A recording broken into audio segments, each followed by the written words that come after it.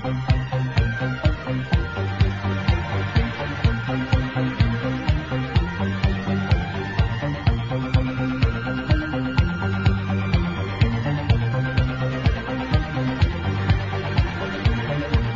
the high desert and the great American Southwest, I bid you all good evening, good morning, good afternoon, wherever you may be in the world's time zones. All covered like a blanket by this program. Midnight in the Desert. I'm Art Bell, and it's a joy to be here. I'm going to uh, foray tonight that I'm not used to. We're going to talk about werewolves. I don't frequently talk about werewolves. Well, with one exception. All right. So anyway, uh, werewolves coming up with uh, with our guest uh, Linda, actually Linda Godfrey, and I'm looking forward to that. The rules of the program are so simple: uh, no bad language, and only one call per show. A couple of news items, and then a shock for you.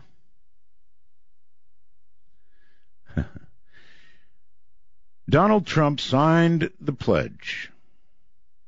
He pledges that no matter who the Republican nominee is,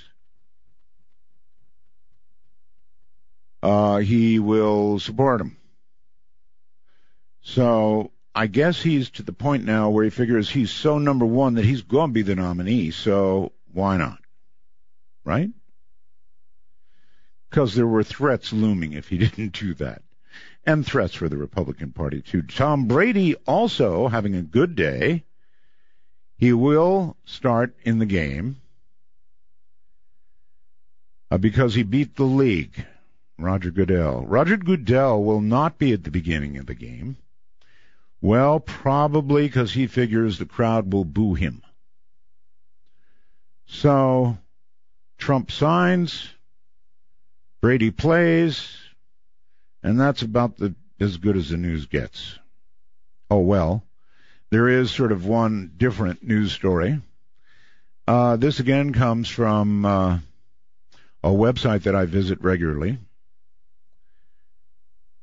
Uh, it, uh, gives a per- perfectly, uh, I would say, rational and scientific explanation. It explains autoscopic phenomena that means like, you know, out of body, right? Or doppelganger encounters. These explanations discard the notion of an actual soul becoming temporarily separated from the human body and instead insisting it's nothing more than powerful hallucination invented by the brain. Now, this is such bunk. Anyway, let me read it. Frankly, the a possibility that our brains are powerful enough to cause us to hallucinate leaving our body is even more unnerving than simply believing the soul can travel.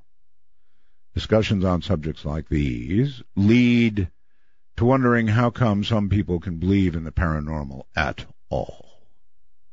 Well, apparently the answer lies in the way some people process things.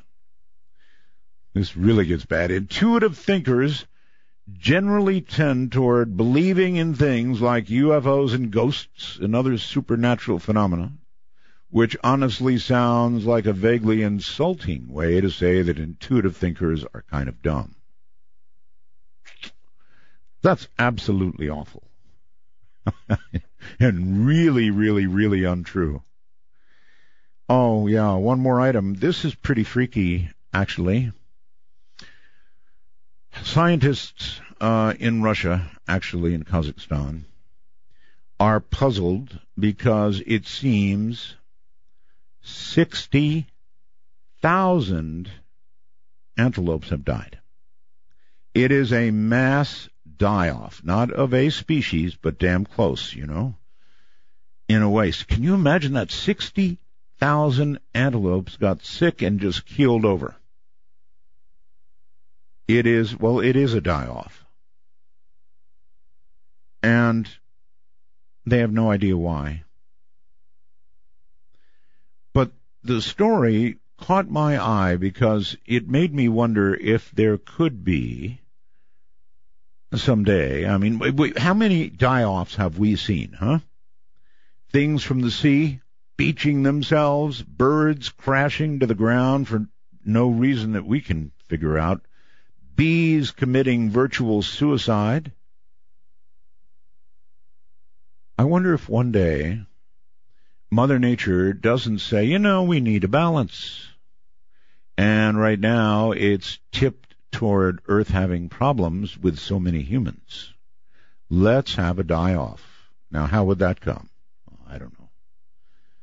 Maybe, you know, just a little thing like a germ or a bacterium of some sort or who knows.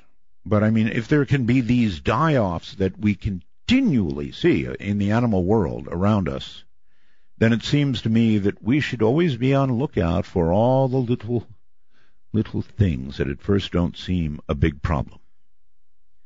Anyway, this uh, is oh one more thing, the shock. um, if that all wasn't shocking enough, tomorrow night. Now, some of you know, and some of you don't know, but a number of years ago, on another show in another galaxy, I interviewed the most amazing guy whose name was Mike Markham. Now, I affectionately dubbed him, and it stuck, really stuck, Madman Markham. I called him Madman because of, well, frankly, some of the things he did.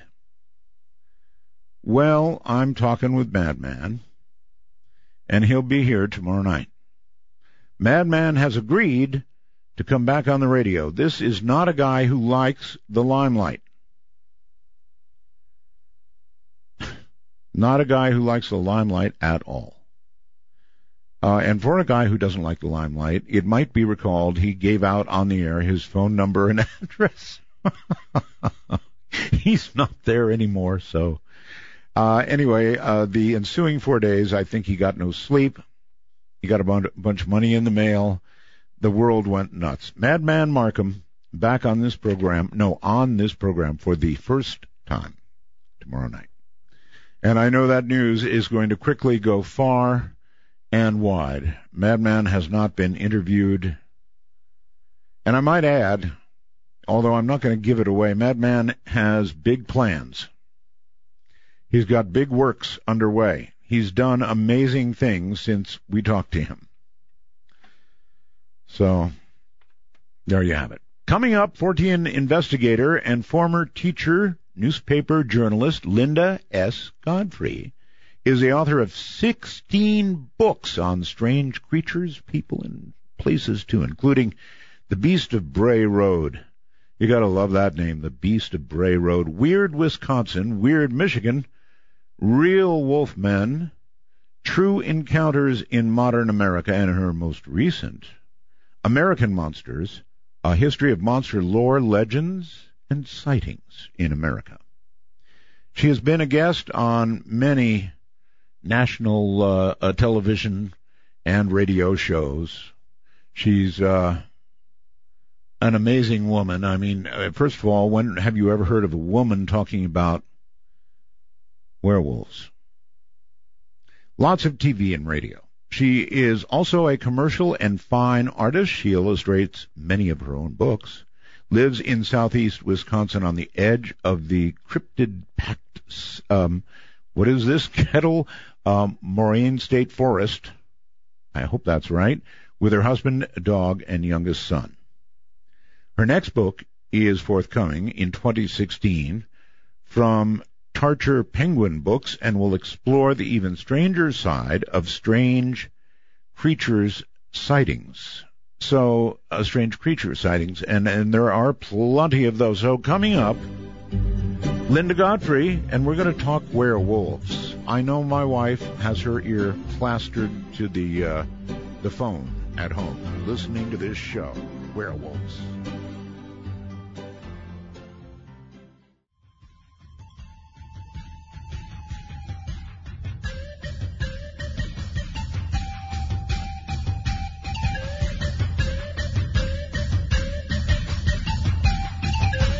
Want to take a ride? Your conductor, Art Bell, will punch your ticket when you call 1-952-CALL-ART. That's 1-952-225-5278. That's it. All right, now comes Linda Godfrey. We originally were going to have her on uh, on Skype, uh, but our Skype connection was bad, bad, bad. And so uh, here we are on the phone, and she sounds great anyway. Linda Godfrey, hello. Hello. Thanks so much for having me. Absolutely. Um, so, Linda, um, I am fascinated uh, by werewolves. Um, and and so the the first question I actually have to ask you is, um, are werewolves real? No. In my opinion, not the traditional, usual oh, way that people believe in werewolves. Not the every corpuscle, every atom of the body, the DNA changing, and the bone growing, and the Jack Nicholson fur sprouting out of the face, and all of those changes that you see in Hollywood. Most of that is pure Hollywood special effects, things made up, and a really new mythology even created um, back in the the early the beginning of the 20th century when all those monster movies, those black and white wonderful monster movies, The Wolfman, Lon Chaney, were being made. Um, these mythologies about being bitten and then turning into a werewolf, um, the werewolf coming out only in the full moon, all those kinds of things, the physical, completely physical transformation. Um, I don't believe it, and I, I say that pretty clearly in, in every book. Oh, but, come on, Linda. My wife dr- dragged me to see Twilight. I, I, so, I know what a werewolf is. and those, the Twilight Wolves, are the least possible of them all. They don't make good boyfriends. You know, they take you out to the woods. You have to eat really terrible food. I mean, you know, it's it's just not the way it is. And and I don't really mean to make light of it because I know many people who've had really terrifying. There's something real. I mean, what I write about is not a non-existent fictional thing. Oh, wait, it's wait, real. wait, wait, wait. Now you're going the other way. I Well, say, no, I ask, are werewolves real? And and you say, no. Not totally not crushing the entire interview, probably. And and now and now, not less than a minute later, we're talking about people who've had terrifying experiences with animals that, that that you're talking about maybe werewolves. They look like werewolves. Well, if they look like one and bite like one, then they must be one. Well, what people say is if there was such a thing as werewolves, this would be it because they look like, except it, when you think about it, um, when most people picture a werewolf, they're thinking of something that looks at least part human, you know, at, at least with some trace of humanity. Really, I'd say 90% of the reports that people send to me um, don't have any sort of humanity in them, except they walk upright. But they are they- they're still on their little dog feet, you know, with the hock up off the ground. They're not walking flat-footed like humans. Um, they don't have any human characteristics really. Um, although there's another set that that do. We can get into that later. It gets a little. Well, then, what what are they uh, like? Really, are they? Would you describe them more like some sort of canine uh, variation, or what? Well, that's what I thought for a very long time, and I still, when I look at my reports, I have to say, probably at least ninety percent of them um, show nothing more than what could be some kind of large adaptation of a timber wolf with um, slightly elongated paws. That's the only thing that's really different than most of them. But they have the natural canine color of eye shine, which is the yellow, yellow, green. Right. They have the shaggy fur. They have the long snout. They have big fangs. They have pointy ears on top of their heads. Um, they they snarl and growl.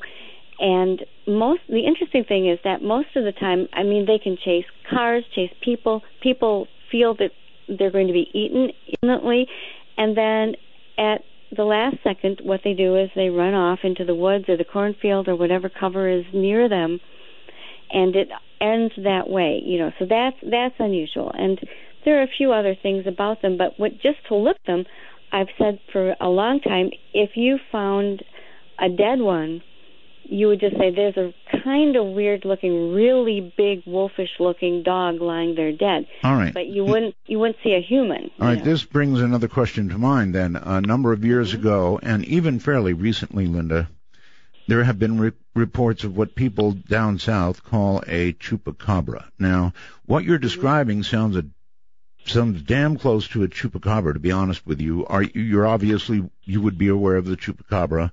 Any thoughts?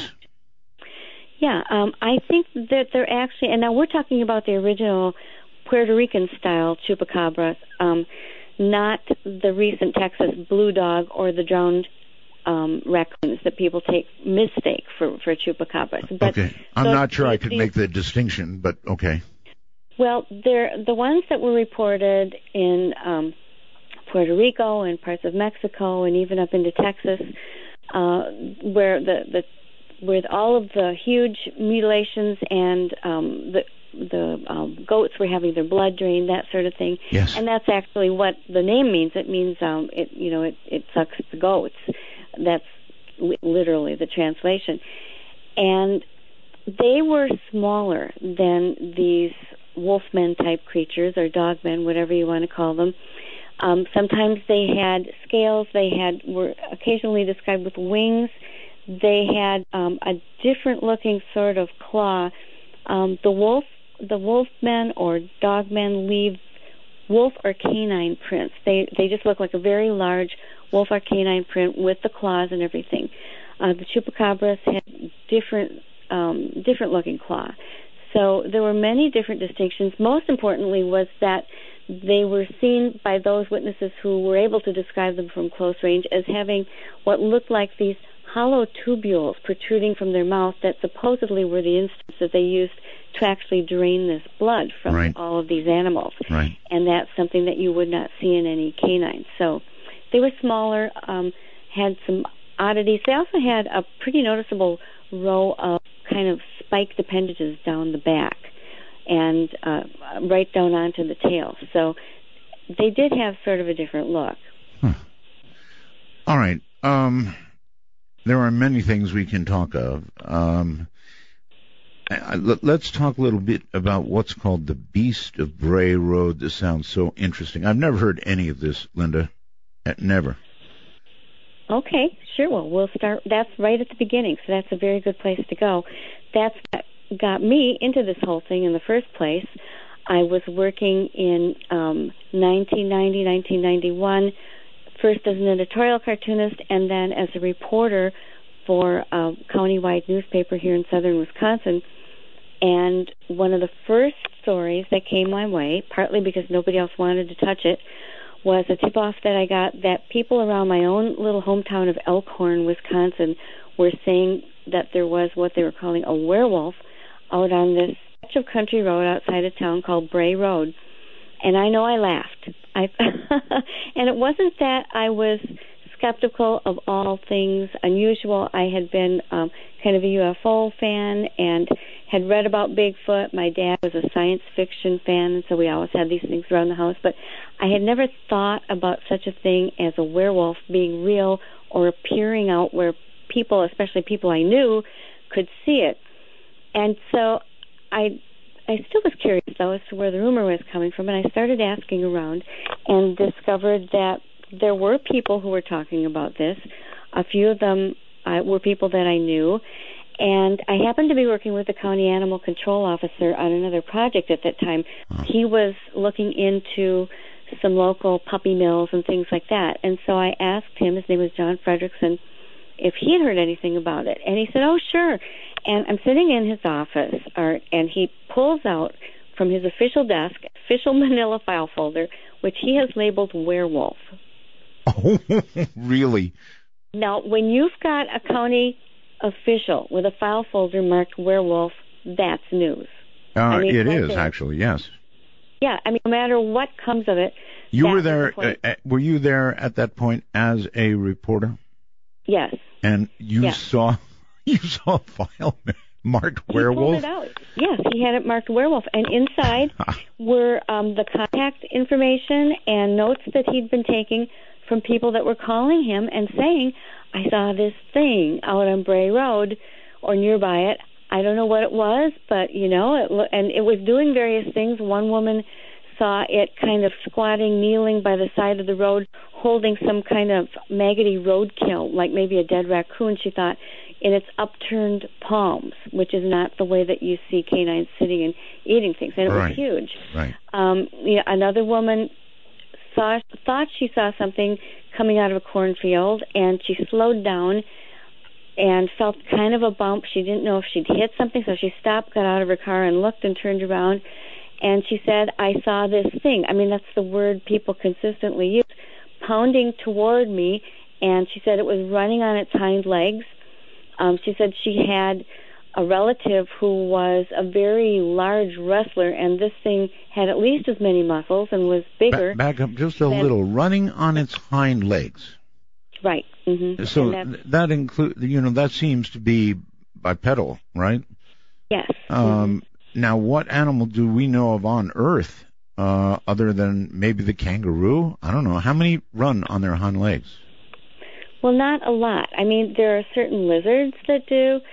Um, there are lots of mammals that can run on their hind legs if they Have to. want to or need to. I mean, if they're motivated, if their front limbs are injured, perhaps, or they're born without them, they can very often transition. There's some wonderful YouTube videos about um, a bear with an injured forelimb that is able to run around on its hind legs. There are dogs trained to dance beautifully on their hind, hind Trained, limbs. yes. hmm Yeah, or the the thing is that in the wild, they usually don't last very long because if it's a prey animal like a deer, which can also I've seen a deer walking on its hind legs to get at a bird feeder, for instance. But if they're restricted to that, they usually can't get away from predators very easily. And if it's a predator, they usually can't hunt very easily. So they're usually not around too long, and they're not going to be bothering humans a lot. But um, these animals that people were reporting seemed large. Usually, the uh, the height was estimated um, between six and seven feet, and very healthy with abundant fur all over the body.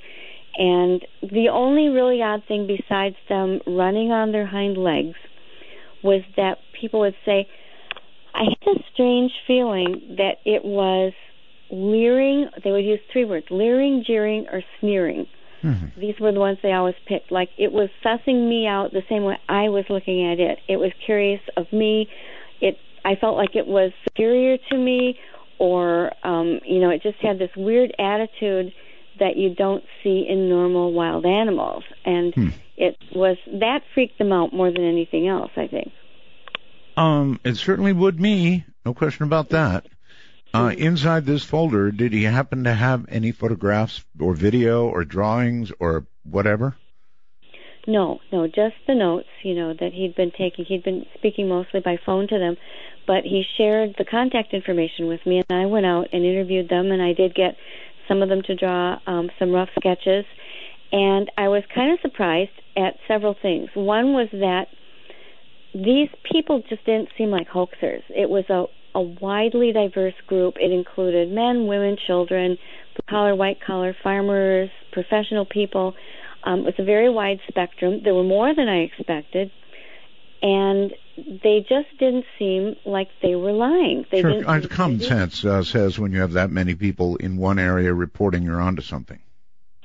Exactly, exactly. And a few of them knew one another, but most of them didn't. They weren't all exactly on the road. The, the Bray Road is a connector between two highways, and then there are other roads kind of branching out from uh, the ends of it. And so um, there were people all around this sort of nexus. You know, you could kind of draw a little circular area.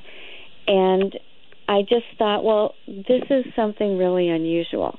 And if it's nothing but folklore, well, folklore is something people write down and keep track of, then that's worth it. If it turns out to be nothing than just some strange fluke that all these people had the same hallucination at different mm. times and places, often years apart, I might add. Folklore mostly doesn't have you calling the cops. You might make note of it, you might write Exactly. about it, but you don't call the cops. Exactly. Yeah, and the other thing was if you're a hoaxer, you don't usually call the cops because who, knowing that they're committing fraud, are going to call the local officials and um, leave their handy information to be tracked down and charged with fraud or. No, and I, you know, I've interviewed like Bigfoot investigators, and I've always thought the dumbest thing that anybody could ever do would be to put on a Bigfoot costume and go roaming around to freak Yeah. out the local populace. You know, uh, like I've described little gray aliens who would land, they'd be so full of lead by the time, you know. yeah, and that's really true. And well, I think it was the year before last. There was some guy in a suit out in Montana who I think got hit by two vehicles when he ran out onto the road. Now there have been hoaxes on Bray Road. I know of a few of them um, where one one was a farmer who wore a bear suit because he wanted to stop parking kids from coming Really? out on his land. Dumb. And yep, and I know another guy who was a county official who but to see this was after these things had occurred and I've never been able to um hook up uh, the time frame with one of these known hoaxers with any of the known sightings. But yeah, this is a guy who was um a government official and he thought that it would be funny to put on a gorilla suit and run across the road, but he only did it once. And, and uh, it's it's very dangerous. And I've often thought, really, they're not thinking about uh, they could cause a car to go off the road for all they know. Mm. You know, so, but but there are people who do it. I I know that, and There, uh, there are I many, many county officials, Linda, that act uh, like gorillas. We'll, we'll be back. Linda Godfrey is my guest. She knows about these creatures for real, the real ones, the real beast types of Bray Road. This is Midnight in the Desert. I'm Art Bell.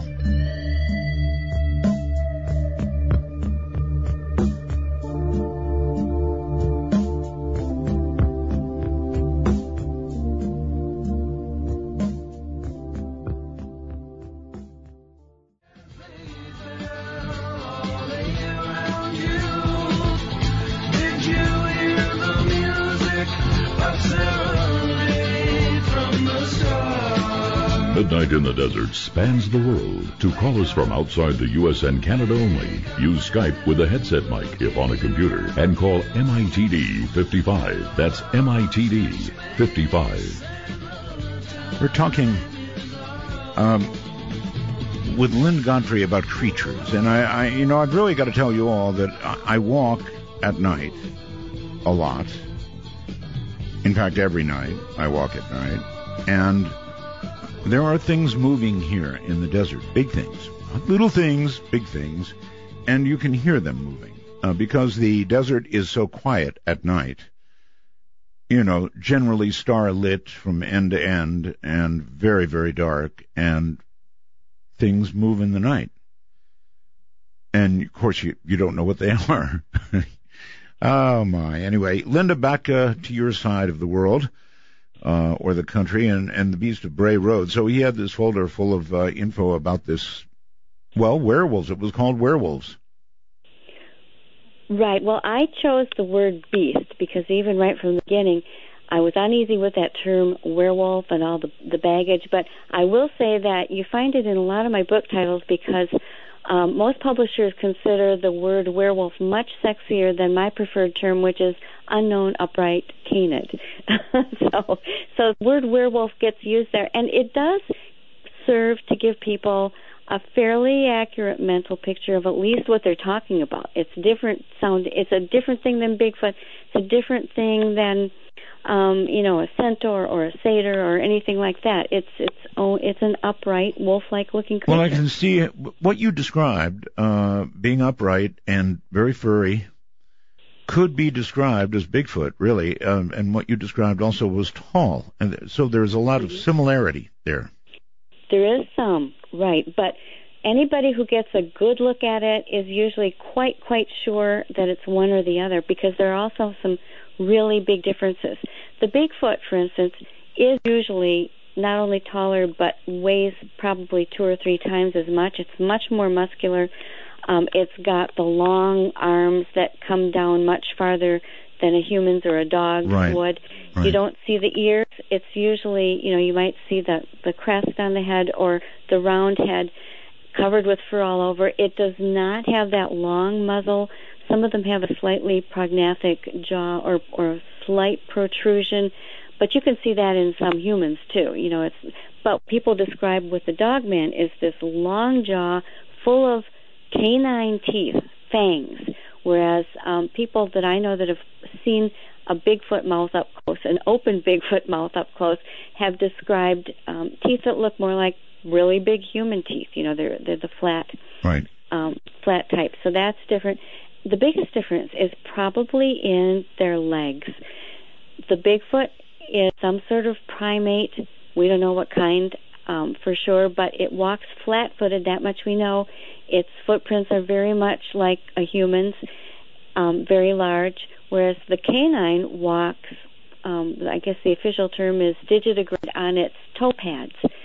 And people will say, this is, I still hear it continually with almost every case report. People will say, you know, it ran or it walked really well on its hind legs, except its legs were facing backwards. Legs were turned backwards.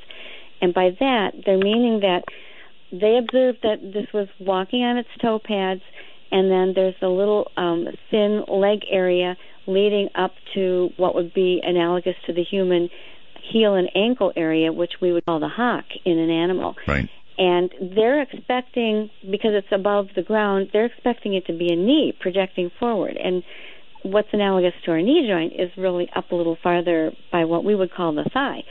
So um, they're looking at it and they're thinking of it in terms of, uh, well, if it was a human, you know, the leg would be bent backwards. But that just tells me that they're accurately describing a canine rather than a primate. All right. Here's something from Curtis. Uh, I get these messages by computer. It's called the wormhole. Um, and Curtis says, I have seen a werewolf like creature face to face in southern Indiana near a farm slash woods.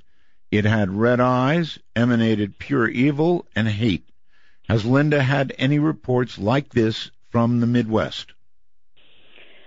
Um, yeah, most of the time, reports like that are near, not always, but but quite often they're near some sort of of uh, Native American reservation uh-huh. or land like that.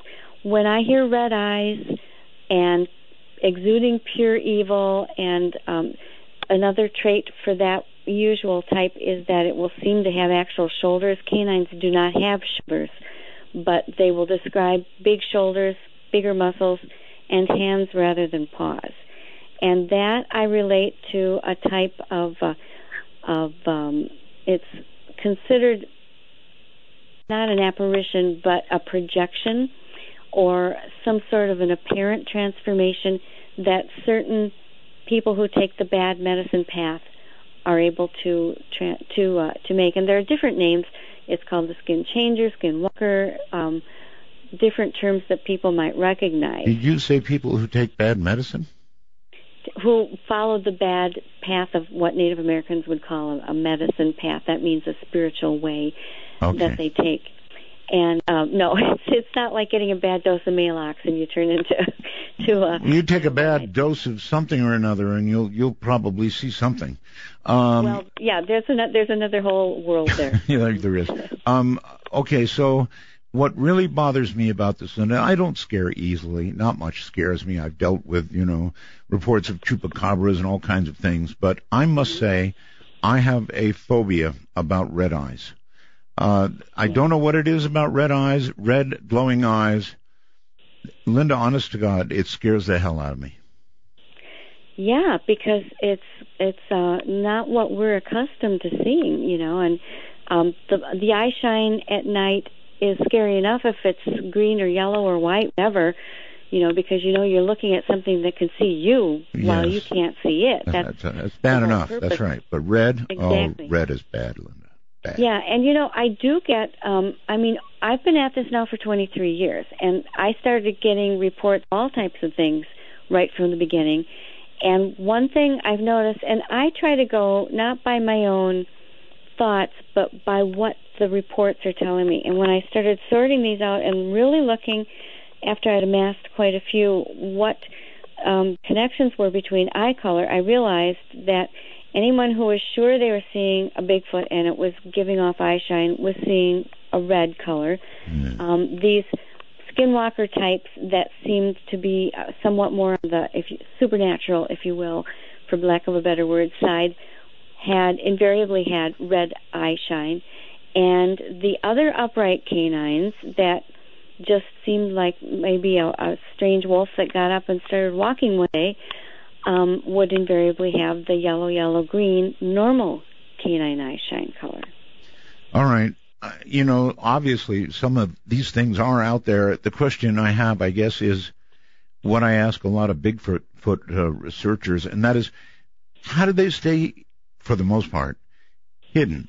How do they stay away from mm-hmm. human beings? We are so, uh, or are we? I mean, there are a lot of open areas left, um, and I need to keep that in mind. But, but you know, civilization has spread, concrete has spread. It must be harder for them. Yeah, I, I agree, and that always is one of the the very most germane questions. Um, it's one thing that has led me to kind of reconsider my position on both of these being totally natural animals because as we do start moving more and more into the interiors of all these giant national forests and state parks that people never really uh, got into so much before, but but it's becoming much more of a popular pastime. Um, and people are out there looking. People are much more aware of all these types of things. Some are carrying guns. Some are using drones. You'd think that, and trail cams have been invented. You know, we've got trail cams everywhere. That's right. And cougars or mountain lions are one of the most elusive of all known natural animals, and even they will sometimes show up on a trail cam, or we can spot them.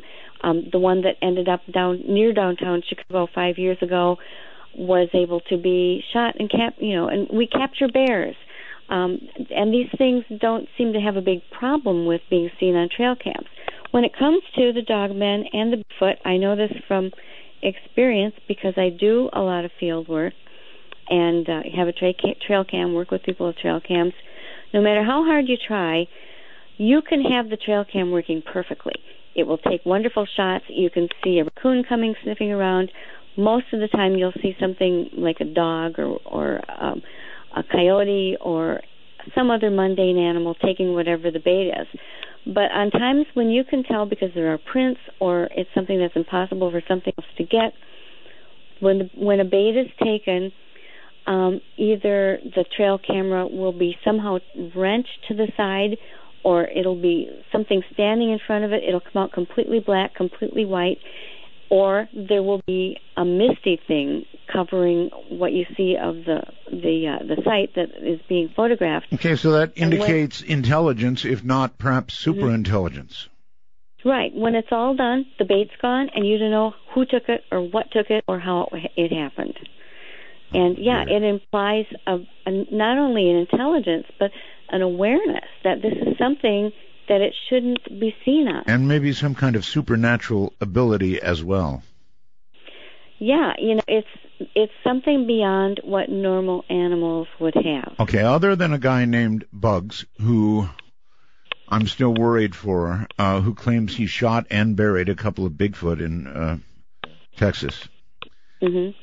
Um, I don't know of any I don't know of any reports of any of these animals being shot and then being put on display. So I, again, this is something I ask Bigfoot investigators, but it seems almost as though these things cannot be shot, uh, mm-hmm. and and that leads one back toward the paranormal uh, explanation. What what do you think? Right, it's inexplicable. Um, I have a number of reports of people who ended up emptying automatic rounds into both Bigfoot and the Dogman. Really? And it just looks at them. It usually leaves at that point, but um, they don't. And and those who are brave enough to try and follow it find broken brush, you know, evidence that something has walked that way, and then all of a sudden they just lose the trail and it's gone. It's like it got out of sight, and then um, my Native American friends would say it went back to the spirit world, and honestly, I've heard that um, for many years, and I have to say that this paradigm that so many Native American friends have told me from different tribes that these creatures are um, they have dual dual existences. when they're here, they're physical, they're corporeal, they need to eat, they can breathe, they um, you know need energy, but they can go to what they would call the spirit world, what we might call a world in another dimension, um, a bubble world attached to this world. Um, and you you're know, saying that Native Americans understand these creatures, um, perhaps in the same way we do, using different language to discuss, uh, for example, the spirit world. We might talk about different dimensions. right. So it's it's sort of all explaining the same thing. That's how it seems to me. You know, it to me it seems a difference in terminology. And what they've said to me is that they, these creatures, and they're usually speaking to me about the dog man and the wolf man, have been here longer than people, and they know how to get between the worlds. They have their own reasons for being here, and you'll find variations. Um, you know, some believe they're evil, some believe they're benign, some believe that if you see one, it means someone's going to die. So there are different interpretations that way. But when it comes to the actual nature, um, in most cases, um, and I've talked to some pretty interesting people. I know one person who told me this was a woman who is not only has a doctorate in anthropology, but is also an elder in the Ho Chunk, tribe here in Wisconsin, which is notoriously closed-mouthed about revealing these sorts of things. Um, but it, it's it's just so parallel to this idea of different dimensions that I think it's almost impossible not to make that comparison. And so that is, uh, if you had to make a guess, that's your best guess. Well, it suits the large majority of the facts given in um, these reports the best. It, it, it's the paradigm that fits everything the best because after a while you get so many reports from credible witnesses saying things like, um, you know, it was running from me and all of a sudden it just disappeared. Mhm. Um, I saw footprints. I heard it going through, but I couldn't see the animal. Okay, so Um, the I foot saw, like, the he- footprints remain to be measured, Linda. I'm sorry to interrupt. They remain to be Sure. measured. Yes, yes, in many cases. Um, yeah. Mhm. it it's and that happens both with the dog man and with the bigfoot. Um i've seen bigfoot prints um you know i've i've cast some. I've, I've never had a good enough deep enough one that it was a great cast but you know i've seen them and and uh measured them and that sort of thing. I've got lots of uh photos of uh dog man prints that just look like lar- very large larger than wolf prints even uh canine prints in many cases. Um I've got one place where I've been working with a property owner for two years, and we have several different kinds of footprints. And in one instance, um, the footprint started in the middle of a snowy field, six inches of snow with a delicate crust on the top, and all of a sudden something appears, rolls around in this area a little bit, and then gets up and walks off in a biped fashion towards some woods. And these footprints begin in the middle of a They pristine begin field. they begin in the middle of the field Huh. and then and then they walk out. The alternative is There that is that it walked backwards bipedally from the forest and then turned around and then somehow but then it doesn't show you where it goes from there. That's It's a know, mystery either way. hmm exactly, exactly. Yeah, and we have, um, uh, and that is a crazy place. I'll tell you that So one. in other words, it appeared kind of out, out of nowhere, like Arnold Schwarzenegger. hmm It's like you know the only way the only ways I could think of is if a helicopter lowered an animal down, you know, off a little rope ladder, Oh, they're going to do that, I'm sure. or or a flying saucer or UFO beamed it down. You know, it's just where did it come from? There's there's just and I've I've got photographs of it. Um, they're slightly imperfect. They were taken by the the homeowner when he wasn't exactly sure, you know, yet what he was doing there, but um, they do show them. Well, of course, uh, after you, I suppose, have published a number of books about this kind of thing, people come to you, I'm sure, in droves with these stories. Well, yeah. Um, it, it started. This was the weird thing going back to when that Be- that Beast of Bray Road story broke. Um, I remember talking about it to my editor, and we agreed that people would locally have fun with it for maybe a couple weeks and forget about it. And immediately it went national, and this was before things went viral on the internet. Almost nobody was on the internet.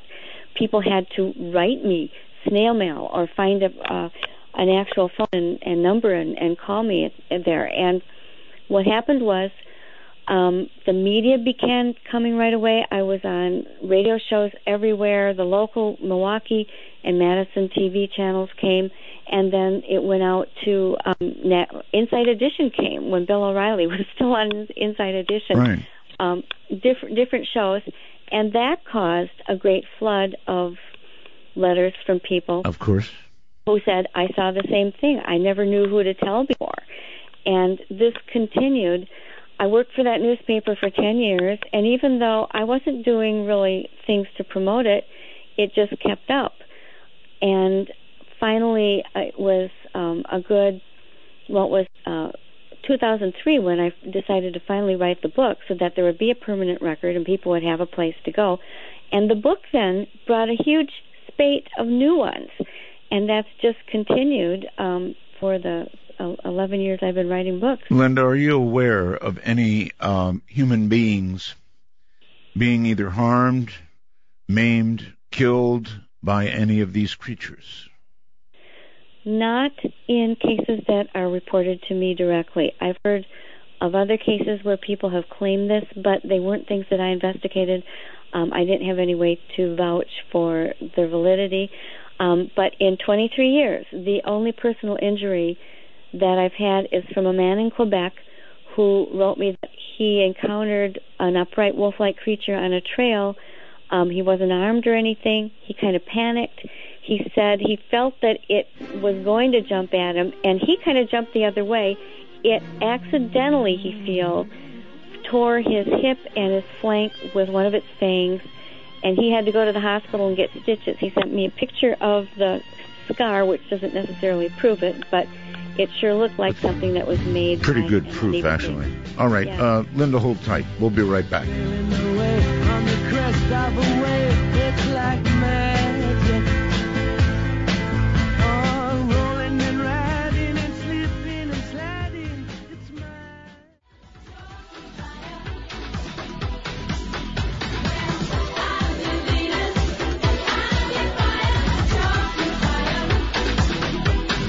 Initiate a dialogue sequence with Art Bell, please coordinate your phalanges and call 1-952-225-5278. That's 1-952. Call Art. We will get to the telephone, so hang in there. Linda Godfrey is my guest. We're talking about werewolves. Werewolves and uh, things like werewolves creatures that move in the night, and they do indeed move in the night. I hear from so many people. Linda, um, here's one. Jason writes, I'm partially, I believe it's Lumbee Indian, and I'm very interested in where you think the show Hemlock Grove's rules for werewolves, how can, uh, for how werewolves can change without a moon, but uh, it causes a curse to incur and drive the wolf either insane or demonic based upon the traditional werewolf lore, I guess. Um, is he? I'm sorry. Did he say about a show? I'm. I didn't quite understand. Um, okay, I'm partially Lumbee Indian. I'm very interested in where you think the show Hemlock Grove's rules. Uh, is there a show called Hemlock Grove? I don't know. I haven't seen it. I'm sorry. Okay, haven't either. Sorry, Jason. A lot of TV. sorry, I wish I could answer better to that. Okay. Um. Well, you must have seen Twilight, right? You laughed. Yes. Yes. yeah. You know, the thing is, um, I have actually tried to correlate full moons to the sightings of these things. And found nothing. And found really nothing. Um, the closest I found is, and my most recent study, um, everything that's in my, my new book that will be coming out in 2016 that's at the publisher right now, um, I went through the whole thing and everyone that had a date that I could go back and look look it up on a full moon chart, I did. And the closest correlation was not a full moon, but a half to three quarters moon. Here's something I can tell you. I, I don't know how a full, a full moon would affect um, a, a werewolf or any other weird creature we're talking about tonight, but it sure as hell affects humans. When I was in the uh, Air Force, I worked uh, as a medic and uh, somewhat in a hospital. And let me tell you, Linda, full moons brought it on. And Mm-hmm. police officers can tell you, look out for people during full moons. I mean, it's just, Mm-hmm. it's just, even talk shows can tell you.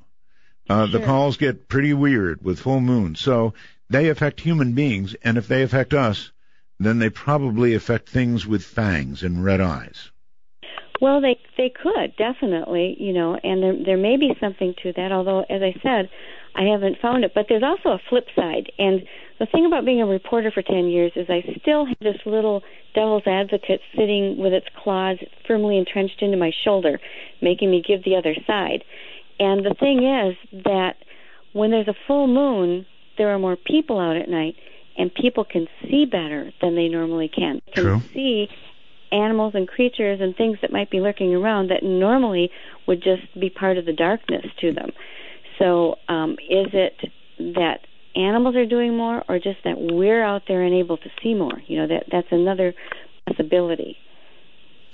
It's a possibility. Um, but I don't know. I, I, I really don't know. I think the full moon has an effect on behavior hmm of mammals. I, I believe Yeah, that. I agree. I agree with that too. You know, I think that it does. And you know, there's another thing that I did find had a stronger correlation than full moons because this was the other thing that I began to look up whenever I could um, find a, a close enough something with a close enough date. Sometimes things happen like 10 years earlier and people have no idea, right. you know, what what um, the conditions were. But solar flares um, seem to have a higher positivity rate than full moons. And to me, that makes a lot of sense because when there's a sunstorm, what does that affect? Electromagnetic systems. What is the human body? What are animal bodies? We are electro. We generate our own electromagnetic fields. That's what we are. The electromagnetic field holds all these atoms together that make up our body. We Well, look at our look at our brains, Linda. Have you ever watched an operation where they're doing they're doing brain surgery on a guy? Yeah. Uh, by the way, who is awake while they're doing it because you don't really have feelings in your brain. They give you a, a little anesthetic when they cut, and then when they put you back to sleep at the end, when they're going to stitch you up. But in between, you're awake, and they touch a tiny electrode to a part of your brain, and pretty soon your hand won't move, or your speech is different. Uh, Right. That's all it takes is a little tiny, tiny bit of electric current. So you're right. When we're hitting, getting hit with solar storms, we are being bombarded. And Mhm. sure, it may have a, an effect, yes. Well, you know, there have been some pioneering researchers. Um, Persinger and Lafreniere have this book, Transient. Um, oh, I'm blanking on the name of it, but people will understand what it is. And Janet and Colin Bord have both done studies where they've looked up spots of major known strange creature or anomalous creature sightings, and then tried to um, see where there might be some deviation in the electromagnetic field of the area, and they found a correlation between natu- natural geological features such as uh, quartz formations, granite formations, that kind of thing, and hot spots of these creature flaps. What So, uh, what's out there that's likely to? I mean, we get these reports of ripped out throats, and again, I, I guess I'm headed toward the chupacabra, but these things are so real, Linda. You know, they they empty the blood of the victim, whether it's a goat or whatever it is. They come out bloodless. What do we know about creatures that drink that drain the blood of their victim um, and otherwise leave them alone? That Yeah, that's that's a good question, and these it's true that these things are found. Um, the place where I ha- and that happens a lot in um, the cattle mutilations that have been occurring around the country. I know there are um, bigger experts on that than, than me, Linda Mohow, you know, for one. And they find these animals um, bloodless. There's no blood splattered around the area.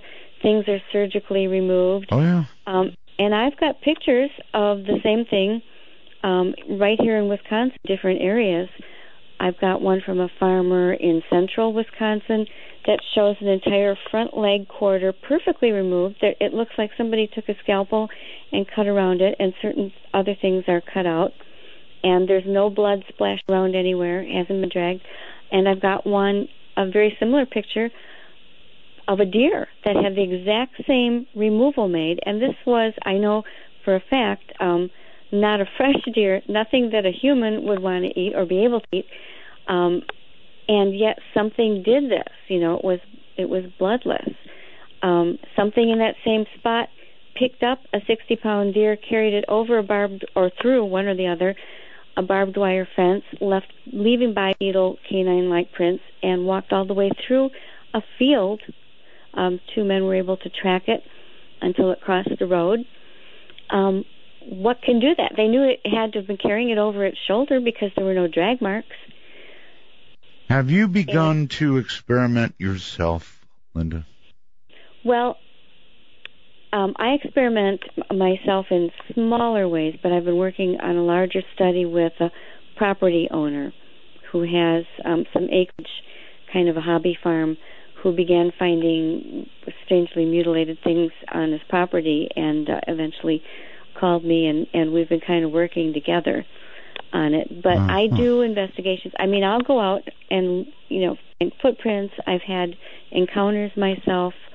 Um, you like know, so what? I, like what? well, the only dog man encounter that I've had, and I believe that it was, although I can't totally prove it. It starts out my book, um, The Michigan Dog Man, titled The Michigan Dog Man. I was on site with a History Channel cameraman on a very remote gravel road in Michigan, kind of near the huge Manistee National Forest, with a couple of witnesses, and it was about 2 a.m., 2:30 a.m. It was like 90 degrees and almost 100% humidity. We were just, you know, drenched in sweat, and we kept hearing sounds like some large dog shaking its fur out like 30 feet away in the bushes. We kept seeing yellow eyes shine. We kept hearing things um, trotting around us. And finally, we had a spotlight set up on the road. And finally, I happened to look one way and saw something start to run across the road, and its fur was just the edge of its spine. The the fur was caught in that spotlight. It was gray fur. I could see very clearly. I wasn't that far away from it and it was vertical. And we know that it was at least seven feet tall because it momentarily blotted out a reflective road sign when it crossed to the other side of the road. And one of the other witnesses saw it too. Of course, the cameraman had his camera aimed the opposite direction during the few moments it took for that thing, whatever aye, it was, aye. to cross. And at that point, the witnesses just started trembling because they'd had one of them. They'd seen a tall gray one and a shorter dark brown one, and one had chased their car, and they insisted we leave at that point. My God, you have one actual, real, no question sighting. The History Channel there with a cameraman. He's pointing the other way. Mm-hmm. And I had taken pictures. I had some really interesting pictures, and my camera disappeared, and there was no really person there. Yes, in fact, it was so inexplicable. Um, we searched the ditches. We searched all kinds of places. Wait, wait, there wait, was nobody You're there. telling me that that you had a camera, even though the History Channel guy was pointed the wrong way. You had a camera. You you had the presence of mind to take pictures. Well, not of that. I, I I mean that was too momentary. But before there had been other things I had taken pictures of, like footprints and um, the eyes, you know, and that kind of thing. Then your camera was gone. And, and it, yeah, I finally ran out of uh, battery and film, and I placed it inside the the van, the History Channel van, where nobody would have been able to get it. If either the two witnesses had had gone for it, I would have seen it. I was standing, leaning next to the van, and at the end of all that, it was gone. There was absolutely no explanation, and the History Channel actually bought me a new camera to replace it because neither the cameraman nor the witnesses nor I could explain where it went. Here's Greg from uh, Caledonia. He says, Art, I'm originally from southeast Wisconsin. I've ridden my motorcycle down Bray Road at night, and I must say the area around is kind of marshy, and at night it's often foggy. I've heard of the beast, and I was really on edge the whole way. So a lot of people have heard about this Bray Road thing. Mhm. Bray Road thing. a lot of them. Right. yeah, Um, it's quite well known. There's a movie I had nothing to do with that's sort of a um, old-fashioned style horror, gory flick that has bears no relationship to anything real that happened, but it that helped to make it a lot more famous. all right. actually. I'm going to ask you something now that is uh, a total turn of the corner, but I think it's in an area that you cover as well. Mhm. You remember 9/11, of course, right? Mhm. Oh yes, yes. Okay. Mhm. Uh, everybody does. Yep. Sadly. and I can't remember the specific p- picture, but I am telling you, Linda, somewhere uh, in the array of 9/11 pictures, photographs that were taken and video, there was a picture, and and there was scale for the picture, so you could tell some kind of gigantic bird or winged creature of some sort uh, was in one of these photographs. And if, Hmm. if you didn't see it, if nobody called your attention to it, I can't because I don't have it right now, but I know it's out there somewhere. Somebody will send it to me or something. And it brings up the whole subject at at any rate of these gigantic winged whatevers. Mhm. Yeah, um and I I remember seeing that at some point, but it's been a very long time, you know, so I'd I'd be reluctant to talk about that one thing, but you do get this recurring theme of winged things being thought of as harbingers of doom of some type or another, you know, and of course the classic would be Mothman in in Point Pleasant, Virginia, which began to be seen around this community. And then the Silver Bridge goes down and all these people are drowned and killed um, before it. Um, I've had a sighting of what some people call the batsquatch. These bat winged, twenty wings, twenty foot wingspan, bat winged things with furry humanoids in the center. Um, that th- it, it occurred three days before a drowning, an unexplained drowning of a university student in La Crosse, Wisconsin. Um, I don't think all of them are, but it does seem that there are, are quite a few um, that that have this harbinger of doom or prophecy. Something that big with talons grabs you, it's not a harbinger. It is doom. yeah, yeah. You you would you would not want to be grabbed. No. But seriously, there Uh, have been photographs of incredibly Yeah. large winged flying things. hmm And that, you know, it opens up the possibility again that Bigfoot, werewolves, all these creatures that we can't account for, chupacabras, um, things that fly, may come from elsewhere and blink in and out of existence from our perspective. I you know I cannot refute that anymore because I've just had too many eyewitness reports over the years, um, and then I see everybody you know other people's work too. It's just not my own work, but it's something that occurs over and over again. And um, people like John Keel, um, a lot of my present day colleagues are all sort of coming to the not all but many are sort of coming to this realization that there just isn't any way to explain them via only the natural realm anymore. You know, it's just how can you have birds flying around with 20 foot wingspans? And actually, I've got one of the best examples of one of these giant bird sightings I've ever seen anywhere, if I do say so myself, starting out my Monsters book. This happened in Hayward, Wisconsin, where a man, uh, middle aged, prosperous businessman, is riding around this kind of upscale resort community near Hayward, not too far from the Mississippi River and and and uh, Minnesota, I might add. And it's a beautiful day.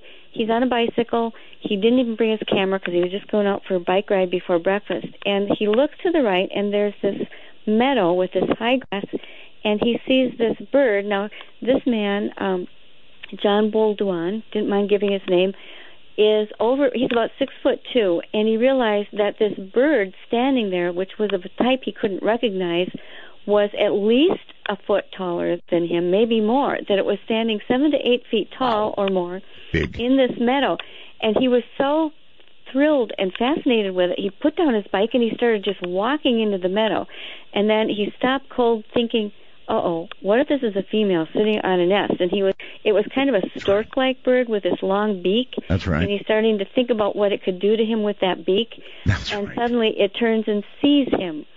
So it, that was kind of the um, the do or die moment. But luckily for him, the bird decided to fly away, and so he sees its wings come out, and they were so big it had to flap them in a billowing manner to get enough air underneath them to take off at all.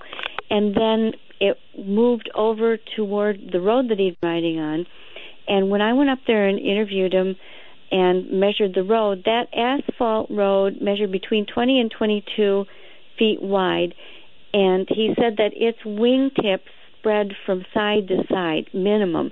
And he watched it flying up the road toward where he knew there was a small airport um, that serviced mostly the private planes that came in. And he thought, oh, good, somebody's there is going to have caught it on radar, um, or they'll have seen it, or something, get some corroboration. And when he inquired, it was completely denied. Nope, saw nothing weird on radar. Nope, we didn't see it. We didn't see it. Hmm.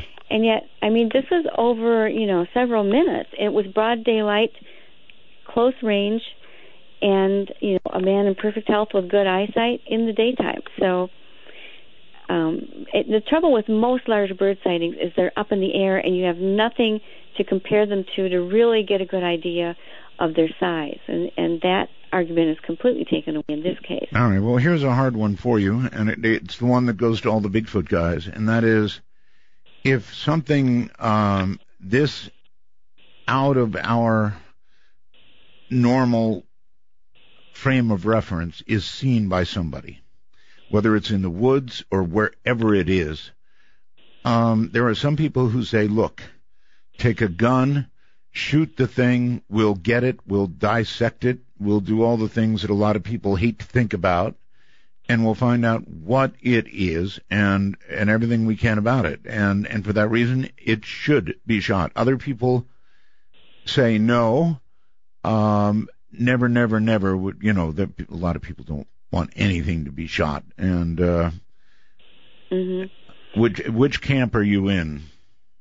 Yeah, this is a really controversial thing going on right now. And I have to say, first of all, I am not um, a vegetarian. I eat meat. I come from a long line of hunters. My dad was an avid deer hunter. My husband's an avid deer hunter. Now, I'm not asking you to eat it.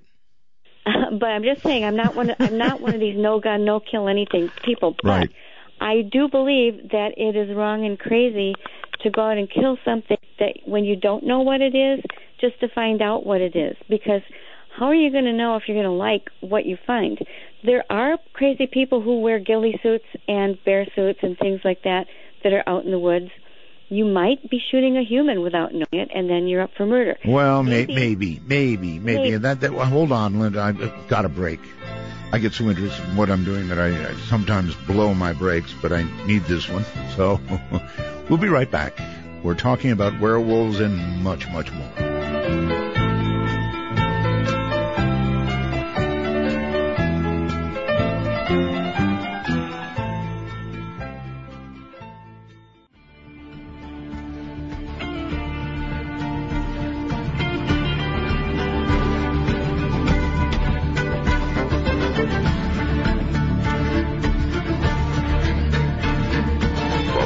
Part of the Dark Matter Digital Network. This is Midnight in the Desert with your host, Art Bell. Now, here's Art. Here I am, and uh, Lynn, Linda Godfrey is here. We're talking about, frankly, all manner of creatures that are just not normal. And if anybody out there has that 9/11 picture or knows the one I'm talking about, boy, I sure would love to get a copy of that. It uh, it it showed one of the buildings. I can't remember who took it, where it was, but I went, oh my god. Actually, you know, I think I said something on the air about it. I believe I did. And I haven't seen that picture in a long time, but you could tell by the scale of the distance in the building that whatever it was was absolutely gigantic. Well, okay, Linda, we're back on. One quick question from Mark in Huntsville, Alabama, and it's a good one too. Please ask her if anybody has reported any sort of smell emanating from these uh, biped dog-like animals, and and it, it really goes for all these animals. Uh, they generally have odors associated with them, right? Yeah, yeah, that's something that it's it's one of my standard questions when I interview someone, and uh, oftentimes they'll just volunteer that. I won't even have to ask it, but um, they vary slightly. For the dog man, they'll say it smells like the one one uh, example is they'll say it smells like the worst wet, filthy dog smell that like if your dog needed I know that smell, yes. in its life and very sharp and ammonia like and sometimes with a sulfur tinge to it. And then with the Bigfoot, um I'll get they seem to have a range of smells ranging from mildly offensive where it's just like uh like kind of a smoky grass type of smell with a little bit of musk to it to something that's a little harsher, more uh, sulfur-like, and um, even more skunk-like. And I have smelled that smell myself, and um, describe. It, it's almost like it was exuded in the place where I was. I, I had just had a 35 foot long, 8 inch diameter living oak branch ripped from a tree right in front of me, and the smell was that that that slightly skunky but musty grass smell. Very overwhelming. Oof. Um, how many actual encounters have you had? You described the one. Uh, I would think if you're out in the field a lot, which I guess you aren't really. You're more of an author than you are an investigator, right?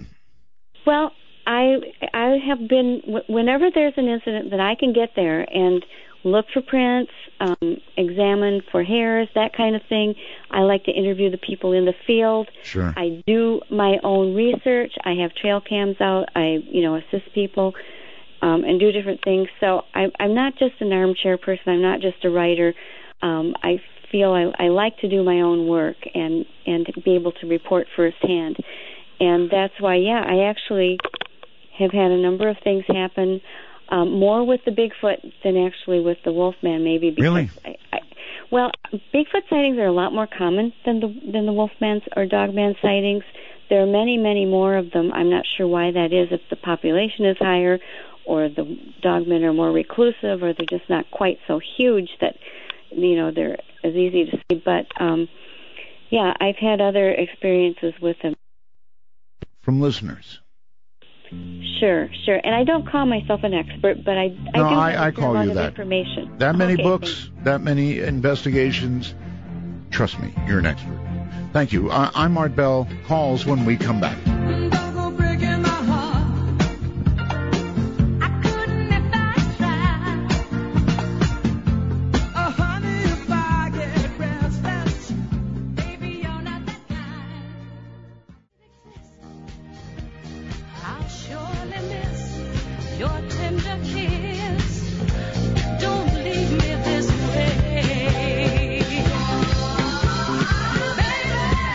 In the desert doesn't screen calls. We trust you. But remember, the NSA, well, you know. To call the show, please dial 1-952-225-5278. That's 1-952-CALL ART.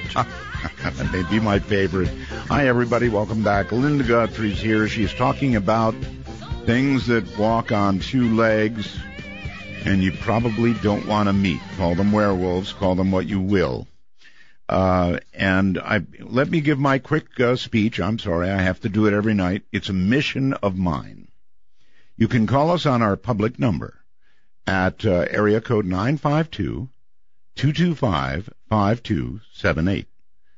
Uh, it's 952 225 5278. Or you can call us by Skype worldwide. And here's the, the way it works. If you've got a smartphone, listen very, very carefully. You simply install Skype. It's free. Go to your toy store, Android or Apple, doesn't matter. Go to your toy store. Uh, get Skype. You'll love it anyway. When you get Skype, you go in there not to where you dial a number. I get a lot of people making that mistake. You go to where you add a contact. That's an actual thing. Add a contact. It'll say that. and there's a little plus sign. And when you press the plus sign, you add a contact. That would be us. And the only thing you've got to type in there is MI, if you're in North America, MITD 51. That's MITD 51. In the rest of the wide world, you dial, you, you don't dial, you put in or add contact MITD 55. That's MITD 55. And I know that this is getting old for a lot of you, but it results in way better connections uh, with those who call in, and it gives you command. If you sound better on the air, you command much more attention. So there's my little lecture out of the way. And by the way, after you do all that, it, we will then appear on your contact list. So when you want to call us, you just go blip, hit it, and it will dial us. And no matter where in the world you are, you call for free. That's the new digital world. Linda, welcome back. Glad to be back. I would like to add, Linda, that I found one of my listeners, they always do, bless their hearts, found for me that picture, the 9/11 picture that I was talking about. I have now sent that to my webmaster, and with any luck at all, he will get that photograph up pronto, and uh, we'll we'll all be able to look, including you, at what I. You know, all right, he's already done it. How's that for speed? Um, so, uh, can you do you have a computer there, Linda? Yeah. Are we on artbell.com? Yep artbell.com would be the place. Be the first thing. It'll come up, and then you have to click on it, make it a little bit bigger. Mm-hmm. Damnedest thing you ever saw. Well, it's um oh there, I see it. Oh yeah, there you go. Now take Yep. a take a good look at the blow up of the size of that thing, Linda, compared to you know, it's on the other side of the building, in my opinion. Mhm. That is big. That's really, really big. It is. You know, there were a lot of people taking pictures, of course, during all of that. And what do you think? I mean, how big is that thing? Yeah, it's you know, like I was saying, when it's when it's in the sky and all that's really next to it is clouds, it's hard to say with any certainty. But I mean, it looks Gigantic. at first glance, yeah, like it's one of those twenty, twenty-five foot or more wingspan birds, and it's hard to tell just from that what the species is too. You know, it's it's um, maybe somebody who's a It, well, it's obviously, look, Linda, that you don't. it's not in the foreground. Take a good look at the picture uh, at the Right. bottom there where you see it uh, with reference to the building. Mhm. So it's obviously right. far, far away. Then when they blow it up, and they did a pretty good job of blowing it up, that, that's a damn monster. Yeah, it is. And why weren't people seeing it and point? Yeah, it's- yeah, it's just very, very strange. Yeah, in that case, you're right. If you're thinking it's on the other side of the other building, then it's got to be double that. You know, maybe 40 feet, 50 feet. I And those know. look like big wings. I mean, even if it was a close-in picture, you can tell a small bird and a monster. Right. This is a, Right. to me, it's a monster. Anyway, Yeah, that that came to mind. Okay. Very cool. Wow. Know, I, cool, I guess, uh, unless you happen to meet it. Uh, let's go to some questions. Uh, let's go to some questions. Ty, on uh, Skype, you're on the air with uh, with Linda. Hi. Uh, can you hear me? I do. Yes. hmm Okay, great. I just wanted to ask Linda if she had any comment about uh, the, the yee naaldlooshii, the Navajo legend, hmm Yeah. uh, um, also known as skinwalkers. I just wondered if you had studied that at all. Yeah, quite a bit. Um, yeah, the the yee naaldlooshii is the the Navajo name is. I think it actually means something like it goes fast or it goes on four feet, and it's considered. I I mean I know Native American people who will not even say that term out loud for fear of drawing its attention to them, but um, it's supposed to be something that is considered sorcery by by the other people, and um, it does really bad things when it goes out. Normally, that's what it's it's supposedly sent out on bad errands by those who create it. And um, every tribe seems to have its own version. For instance, the Canadian Cree have what they call the bear walker, and in this instance, there will be a bear that goes forth. And there was even a, there was a bear walker curse put on um, one of the Michigan colleges not too long ago when there was some argument over some uh, remains that needed to be repatriated to that particular tribe. And I've got this in um, my Strange Michigan book that, that I wrote. Um, just you know, you'd think that these things are from another century or that nobody's practicing them anymore, but from what I understand, um, you know, they they are out there, and people who feel that they've been visited by this will describe something that looks different than the usual dog man uh, canine type of thing. It's what we were talking about earlier with the red glowing eyes, the supersized height. It often does things like stare in windows at people, um, track them around at night. Usually, it's uh, a very dark in color, um, has shoulders. It will show hands, and and sometimes seems to go to sort of uh, take pains to show that it has hands, laying them right on the windowsill or where the person can see them. So it does have some humanistic uh, features compared to the the normal canines that we see. Very interesting. And we're well, really glad to have you back, Art. Uh, thank you. Thank you so much, and uh, take care. Uh, that's on Skype. Let's go to the phone, and uh, I think Seattle, Washington. Hello there. Hi there, Art. Uh, listen, I've been I don't know too much about werewolves, but what I've been uh, listening is very interesting and it, it, uh, it brings to mind a theory of mine. I'd like to ask Linda what she thinks of it. Is it possible that uh, what some people might be thinking they're seeing as werewolves are maybe just uh, drunk Italians? Drunk Italians? Yeah. um, well, you know, I don't think that there's any one nationality or even uh, human connection to most of these creatures and you know, I assume that you're being facetious. Well, he's being a creature, not a very nice one either. Yeah, yeah. Um, I happen to like Italians. I, I have a lot of Me lot too. of Italian well, friends. I, I just so heard two, walks on two legs and uh, is is really hairy, that kind of stuff. So. You know, that's well, just. What I usually, that's what I usually get is no, that was my brother-in-law or something like that. At least it wasn't your sister-in-law. Um, there you go. Okay, uh, let's go. Let's go to Washington, Georgia. Hello. Hello, Linda. Hello, Art. Hi. Hi. Uh, I saw a creature um, when I was uh, camping in Pennsylvania. I don't know if you're familiar with that area at all. Somewhat. uh, I get a lot of I get a lot of reports from there. Okay, great. Um, well, I was with a couple friends of mine, and they saw it as well. Uh, and it it had yellow eyes. Mm. It had uh, almost like a human face uh, with very long, very big, almost uh, kind of wrinkly ears that had hair on or fur on that as well, and on their faces, like all all the way on its face. It had mm-hmm. very large hands, mm-hmm. uh, but very skinny arms. Mm-hmm. And um, it also had. Uh, I noticed that its legs were, you know, like the the knees bent backwards, like hyperextending, you know, Mm. in a way. And um, Classic description.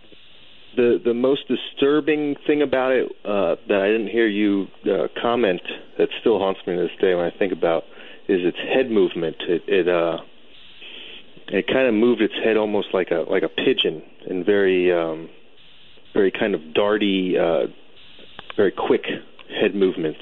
And um, You know, it's funny you should say that because I just recently had somebody write me the same thing. They said it was, as they looked at it, it was moving its head sort of back and forth as if it was um, kind of trying to measure when was the best time to pounce. hmm And uh, when I saw this, um, it was maybe about two feet away from me. Um, Yeah, yeah. and I don't I don't think it knew I was there because I was uh, sleeping in a Volkswagen van, and it was in a uh, a campground called Otter Lake in uh, Pennsylvania, and there was uh, a couple of hunters that were up fairly late uh, by the fire, and it seemed to be very engaged in what they were doing, and it was Hmm. paying a lot of attention to them, peering its head around at the uh, the campers very you know suddenly, and at first I thought it was another camper, and you know when my eyes adjusted and I saw it was, you know I was absolutely terrified. And uh, for the rest of the night, I you know me and my buddy just you know cowered in the the van, and we even called the state police, and you know they acted like they didn't know where we were and thought we were drunk. Wow. How did they treat you? Uh, basically, they uh, kind of laughed and said, "Well, we have no idea where that is. Um, we wouldn't know how to get to you. We suggest Mm-hmm. Yeah. you stay in the car." And that was basically it.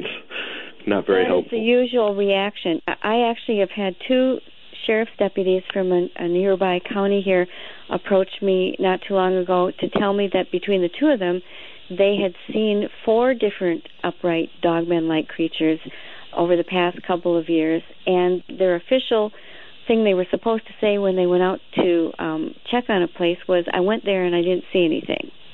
hmm but yet they will come privately and now you're going to think this is going to seem like a setup because I happen to have in my lap um one that I got just this last month from a deputy sheriff in Frederick County, Virginia, who actually saw what I was just telling you uh, about. And when he described it, he said he originally thought it was a bear with mange, and then he noticed it had a curled up long hand paw with curled up looking claws um, that brushed he saw it brush a tree and he felt every hair go up telling me to leave it and would be okay so he left um, but he said the thing was that um, its head looked like it was twitching constantly hmm which yeah, is exactly like like what you said. And he said the claws I will never forget. They were upturned monster claws on long hand paws. Remember I had said elongated paws is one of the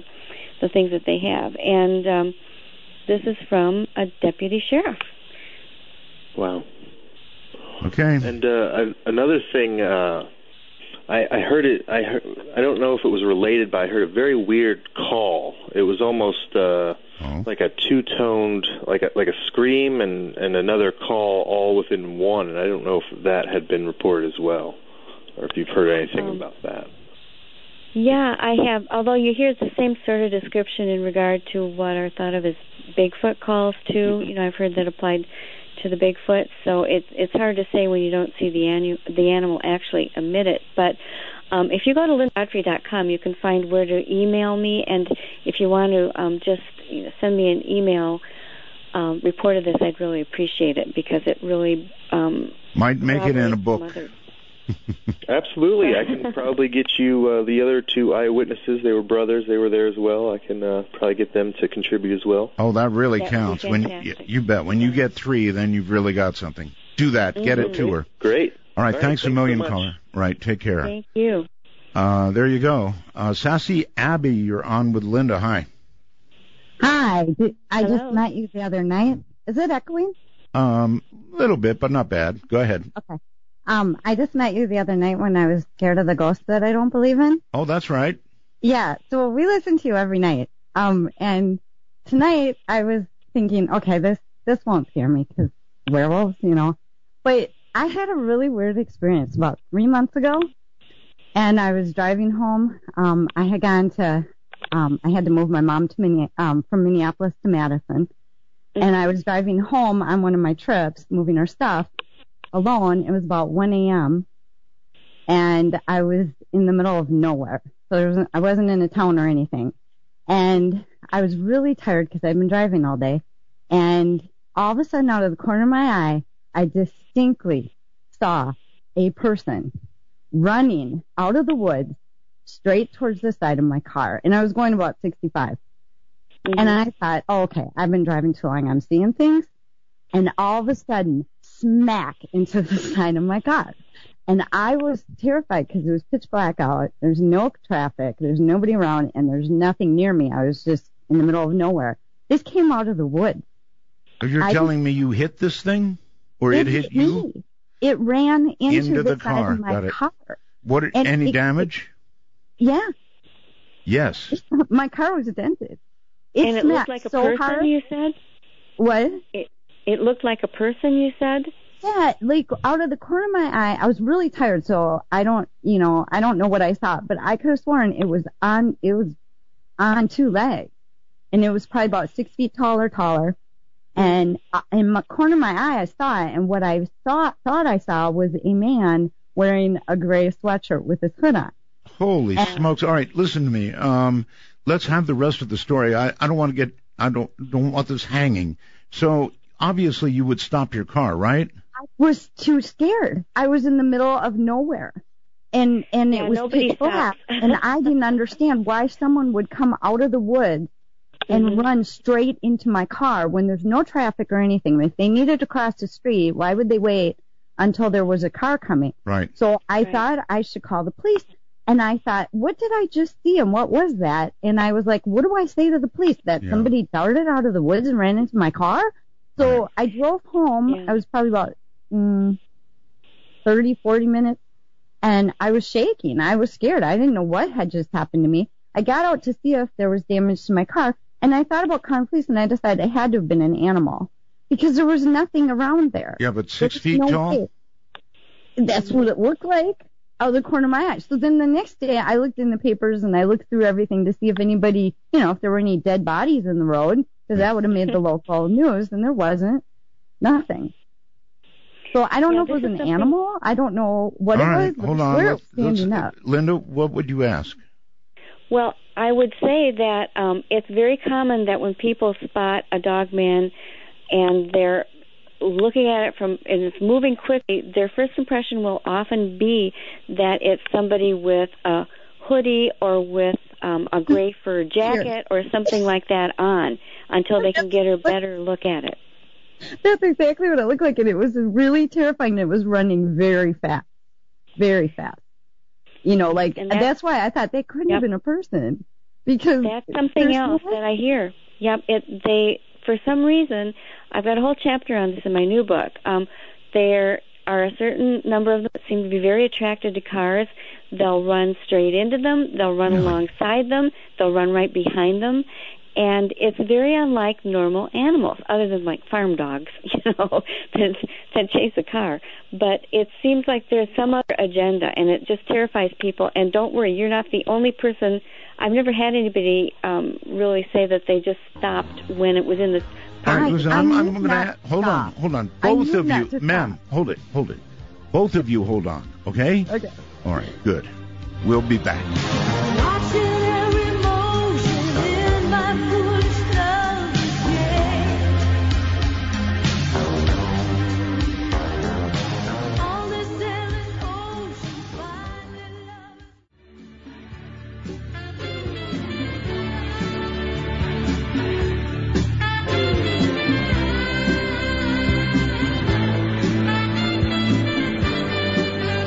Take a walk on the wild side of midnight. From the Kingdom of Nye, this is Midnight in the Desert with Art Bell. Please call the show at 1-952-225-5278. That's 1-952-CALL-ART. Linda Godfrey is here, and we are talking about creatures. And we've got a lady, Abby, on the phone, who was driving along at how many miles an hour, Abby, when this happened? Can you tell me? Yeah, I was going about 65. 55. Um, okay, so you were going good and fast, Yep. and this creature, six feet in size, smacks into the side of your car. That's Yeah. where we were, and and Linda, that's incredible. And you're telling me, I don't want to say it's normal, but you've had other reports. Yeah, it happens fairly frequently, and you know it's just um, inexplicable as Weird. to why they would want to uh, take such a chance with themselves. Most wild animals will um, try and just go across the road and get away from you. There are also those who cross in front of the car, almost as if they're sort of daring it to stop or Right. playing a game with it too. All right, caller. Uh, here's a question for you. It comes from the computer, and it's a good one too. Um, there would have been, if it was that heavy, it hit that hard.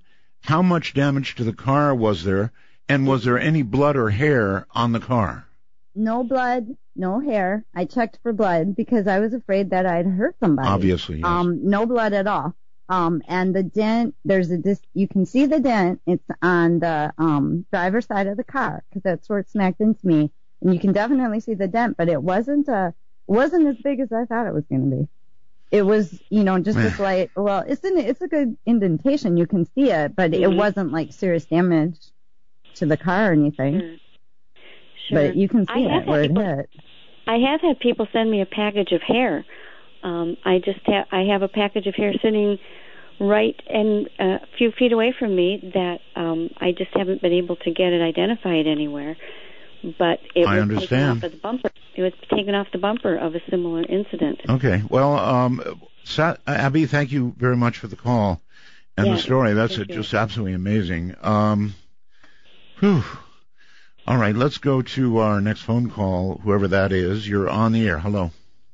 Hello, Cruiser from Arizona. Yes, sir. Okay, first time caller ever. Um, Thank you.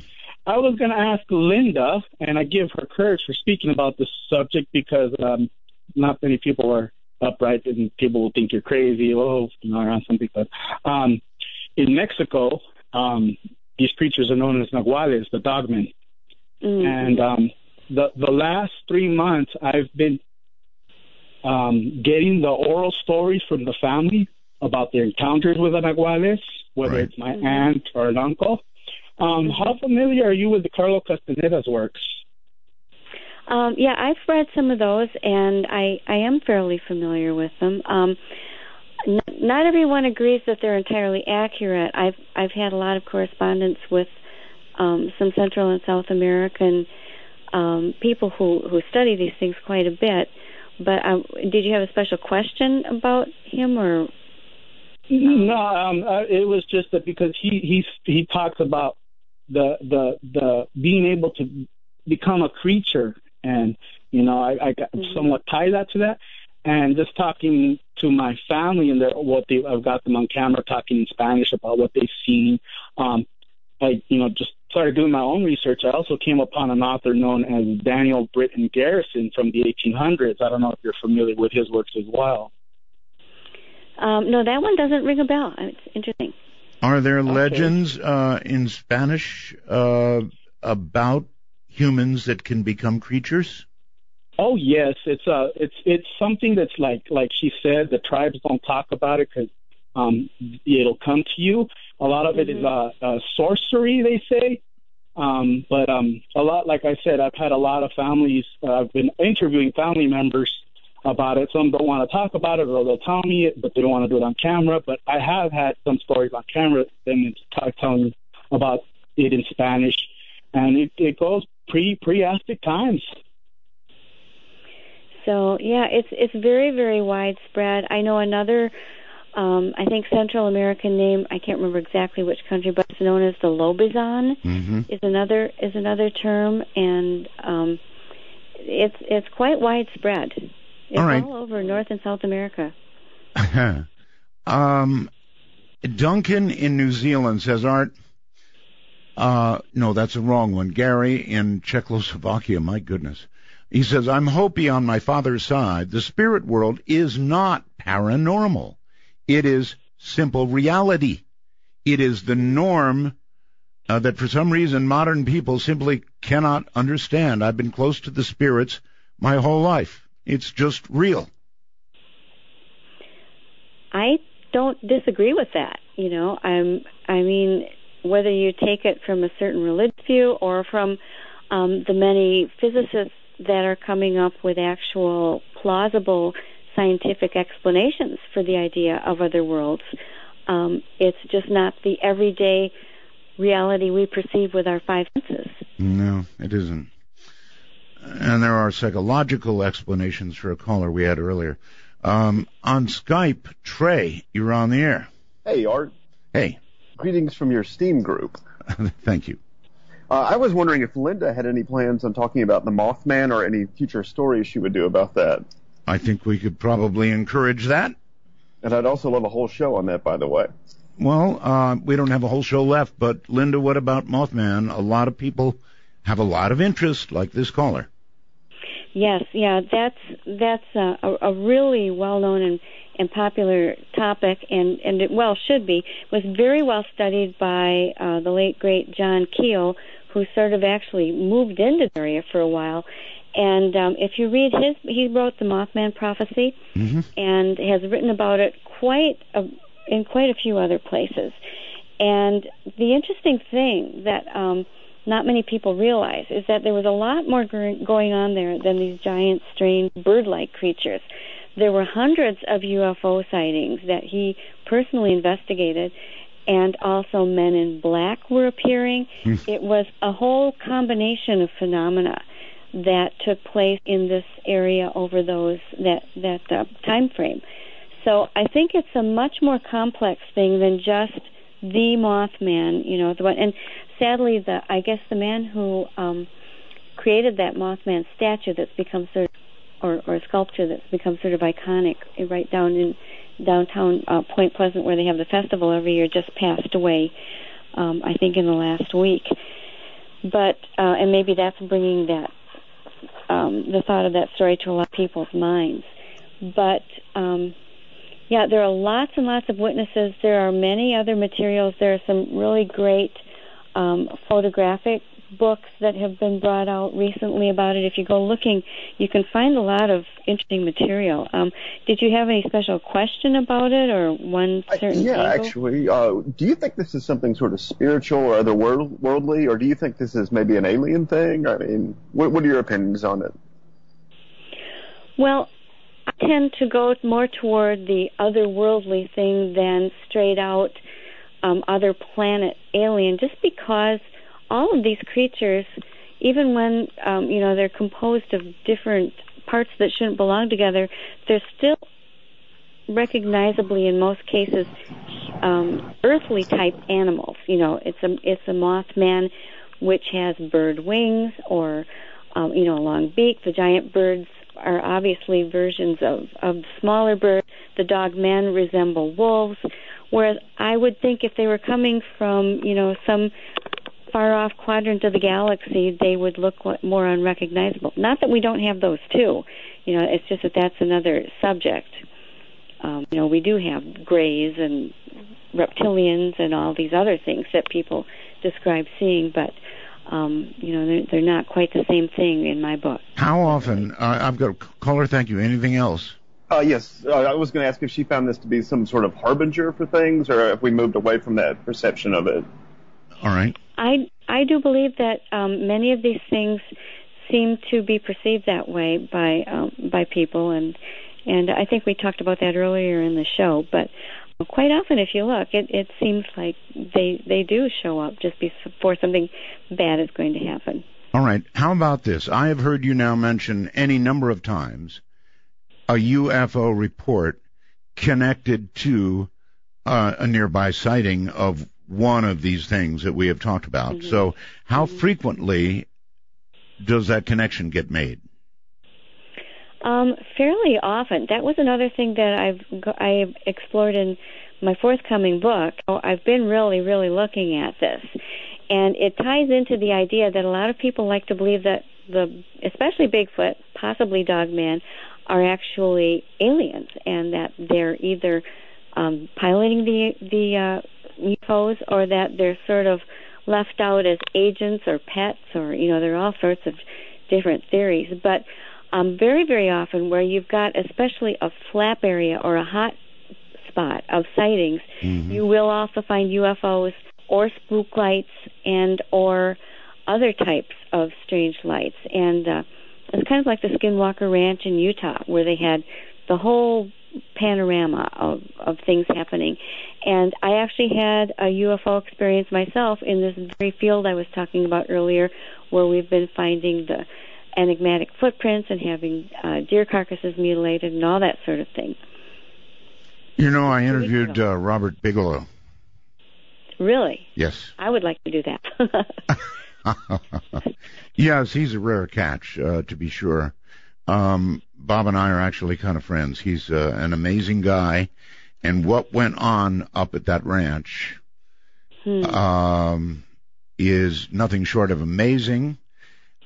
I actually think that what happened at that ranch closed a chapter uh, for Robert, and and he moved on. In he's now very much into uh, space, Mm. Yeah, putting hotels into space. He's got oh, he's got contracts with NASA. He's he's really turned a corner. But I, I think with that ranch, he answered some questions, Linda.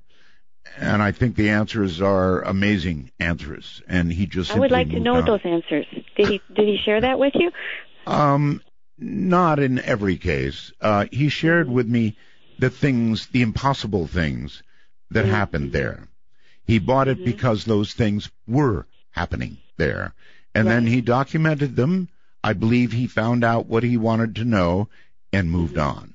That's, that's just my opinion. Well, that's that's terrific. Well, and I do know that he had a lot of the scientific equipment and real Oh, yes. scientists to throw at it. Oh, yes. you yes, know yes. so i mean it was studied as best as it possibly could have been and um you know i i kind of envy that i've i've been working with my property owner out there in that field and we are not funded that way and and yet we still find ourselves coming to conclusions that we thought we never would have come to before All right. On the phone, uh, you're on the air with uh, Linda. Hello. Yes, hello. hello hi Oh, okay. Hi, Linda. Hi, Art. Hi. Um, I, I just want to tell you guys this story. It happened about 25 years ago with my children. My children would cross the road up and go up in this guy's driveway and play all the time. Well, one evening, they came running in the house. They said, Mom, we heard a werewolf. I thought, hmm. well, now they've heard this weird dog, you know, and I went back outside and I could hear it too. And it wasn't like a regular dog. It was very, very odd. Well, hmm. I didn't know what to think about it. And, uh, you know, I was typical housewife, cooking and then taking care of stuff. So I just went in the house and, uh, it was just when the sun was going down when this happened. And, uh, I lived kind of in the woods area, but the, this guy had, like I say, a big long concrete driveway that my kids would play on. Well, that evening though, I want you to know, God will strike me dead, but it is the truth. Uh, we had a big picture window in the house, and that guy was a doctor that lived up on this hill, and he would come home late of the night. Well, I heard a strange sound, and I went to that picture window, and I looked out in my yard, and I could see the car lights of him coming up the road. And right there, I have never, I never, I always thought it was a joke. Werewolves were a joke. Mm-hmm. But I saw this thing that had a huge back, and when it turned its head around, it had a snout at least a foot and a half long on it. Wow. Its body, its body was huge. I never, I have never seen anything like that. And you mentioned about UFOs. There were some weird lights that we'd seen just prior to me seeing this. It scared me so bad. I ran in the back room and locked the door. You said it made a sound. You said it made a sound. Can you describe that sound? Uh, well, sort of like a weird dog screaming, you know, sort of like that. I'm not really sure exactly how to describe it. Did it And, have uh, a I want relationship to that doctor? Okay, hold on a Were sec. you- Linda, go ahead. Were you saying did it have a relationship to that doctor? I wasn't quite sure. Were you saying that the doctor transformed into this, or it was just outside when the doctor was driving home, it was, or it was yeah, it was just outside when he was coming in. This guy oh. came in late at the evening because he was like an emergency room doctor, mm-hmm. and he worked late. And I, I I had been staying up a little bit later. I guess this was close to midnight, maybe around that time. But I never expected anything. I just thought, well, there he comes. But the way the car drove into where the lights came into my yard, see, and I did not see any hands or arms, but I did see it move its body, and it had huge shoulder. I've never seen anything like that in my life, and it had to be at least maybe six foot tall, maybe, but its back was so large when it turned its head. Now, I want you to know, I thought all that stuff was a joke. And I never believed in anything like werewolves because I grew up. I'm an older lady, and I watched all those horror films years ago, and I just thought mm-hmm. that type of stuff was a joke. But they, when I saw that, and that freaked me out so much.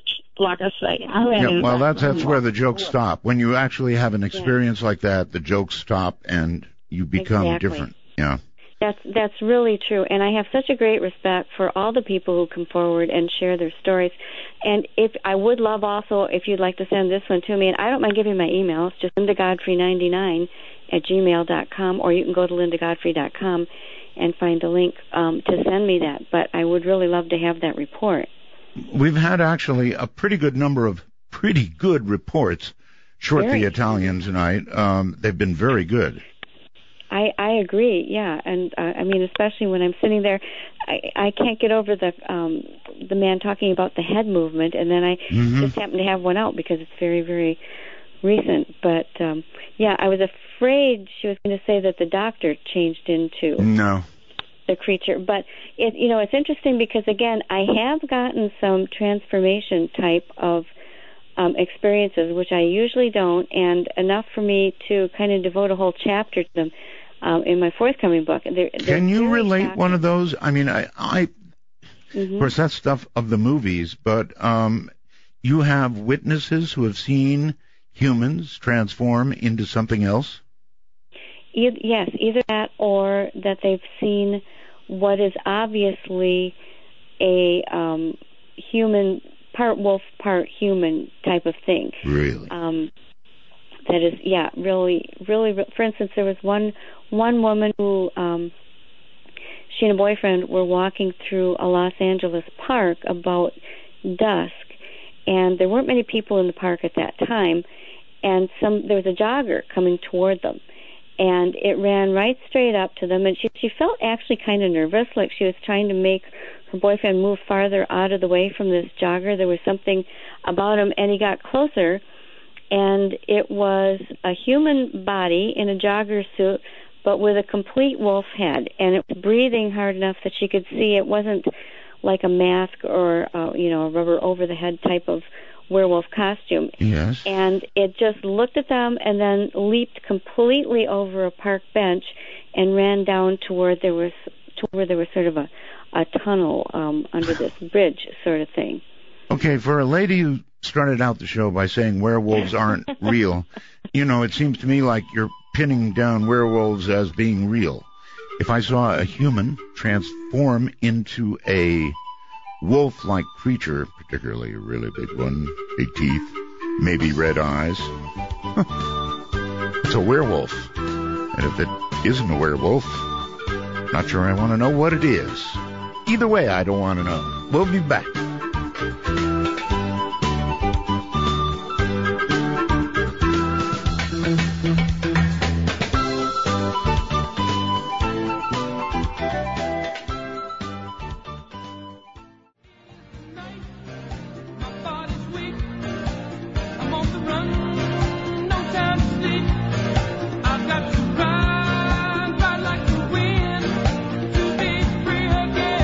Coming to you at the speed of light in the darkness. This is Midnight in the Desert with Art Bell. Now, here's Art. Here I am, and Linda Godfrey is my guest. Our landline number, area code 952-225-5278. Skype at MITD51 or internationally MITD55. And uh, here, Linda, is a description from somebody in Minnesota of what they claim was a sound of a werewolf. At first, it sounded like a woman coughing, then turned into gagging and transmuted into a dog-like howling and very loud, horrifying howl. Couldn't sleep right for months from Minnesota. Hmm. Hmm. Um, I've also, I have to say, I've also heard big screams described the same way as that. I have, and I, I like to ask people if they actually saw the creature making the sound because it's the only way to really relate it to it. And several times when people have actually observed it making the sound, what they've described is more like a variably pitched growl, kind of like those old-fashioned. Remember when everybody had a cappuccino maker, Yeah. and it would kind of be this up and down sound, like rah, Sure, I sure, mean, sure. like an octave in between, only really chilling in a in a much lower and and higher octave. Uh, very scary thing that sounded like nothing I'd ever heard. And I I had very unrelated people. This was completely unpublished, and they would make the exact same sound for me. Somewhere I have one recorded. But um, yeah, it. But yet I, you don't know if you don't really see the creature, that creature making that sound. Um, unfortunately, you can't say for sure. Yeah, you know what? I, that sound, as described, I don't want to see that creature. Not me. The, the, oh. On Skype, you're on the air. Uh, Matthew? Art Bell, praise the Lord, hallelujah. I finally got through. Yes. Now this woman is a very good guest, but I have to say that West Virginia has been a state since 1861, and Mothman is not from Virginia. Wait a minute. West Virginia, Yes, Uh, West Virginia. and then Virginia. Yes, Uh, West Virginia has been a state since 1861. oh, okay. Point Pleasant is in West Virginia, not Virginia. Okay. Right. If if I thought that I said West Virginia, I may have misspoken. I'm I apologize if I did, but that's I do. But you're entirely Thank correct, of course. But And, I know, have maybe to say, it's just, uh, werewolves are very real, Mr. Bell. They are satanic influences. And these, the werewolf call sounds like the cry of the unborn baby whose blood these people have been baptized in and the mothers who never got to hold their baby. They are witches. Are they? Um, you, you know, I have a question for you. Yes, sir. Um, are you related to uh, anybody who used to call this show called JC? I am his spiritual son, Mr. Bell. No, I thought you might be. Uh, blood tells. That's all I can say. Blood tells. Well, I'll take my answer off the air. Thank you very much. I don't know what your question is.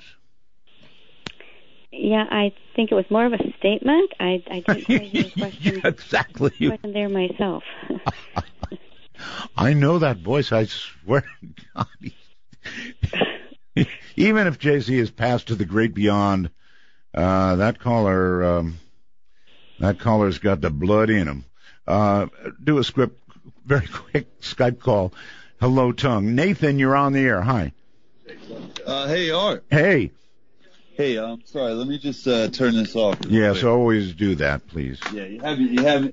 I was on hold on the. The phone. infamous Okay, turn hey, Art, down your sorry. device. Uh, I'm a huge fan, Art. Thank, you, so much for taking the call. Sure. Um, uh, I grew up, Art. and, Uh, Linda, hello too. Uh, it's a great Hi. show. It's great stuff. Um, I grew up in uh, Bordentown, New Jersey, really old town uh, on the Delaware River, um, where Joseph Bonaparte, uh, one of the original uh, witnesses to the Jersey Devil, he had an estate there. Uh, he also had this weird, like, cave structure on the river called the Rock Gardens in the town I grew up in. And um, uh, I'll I'll make this short, Linda. I was just curious what your uh, what your you know thoughts or theories on the Jersey Devil were, and um, also uh, one of the questions I had had already been answered about uh, cryptids appearing at the same time as UFO sightings. Um, some in southeastern PA. I've read about where there's those strange like deer with the bent back legs being seen in conjunction with UFOs. Um, and that's really interesting, but I, um, that question obviously already been brought up, and uh, All right, we have this real quick break we have to do. So what we'll do is do it, and we'll come back and we'll talk about the Jersey Devil a little bit. You know, it seems like everybody, or everywhere, I should say, has some kind of devil or monster connected to it.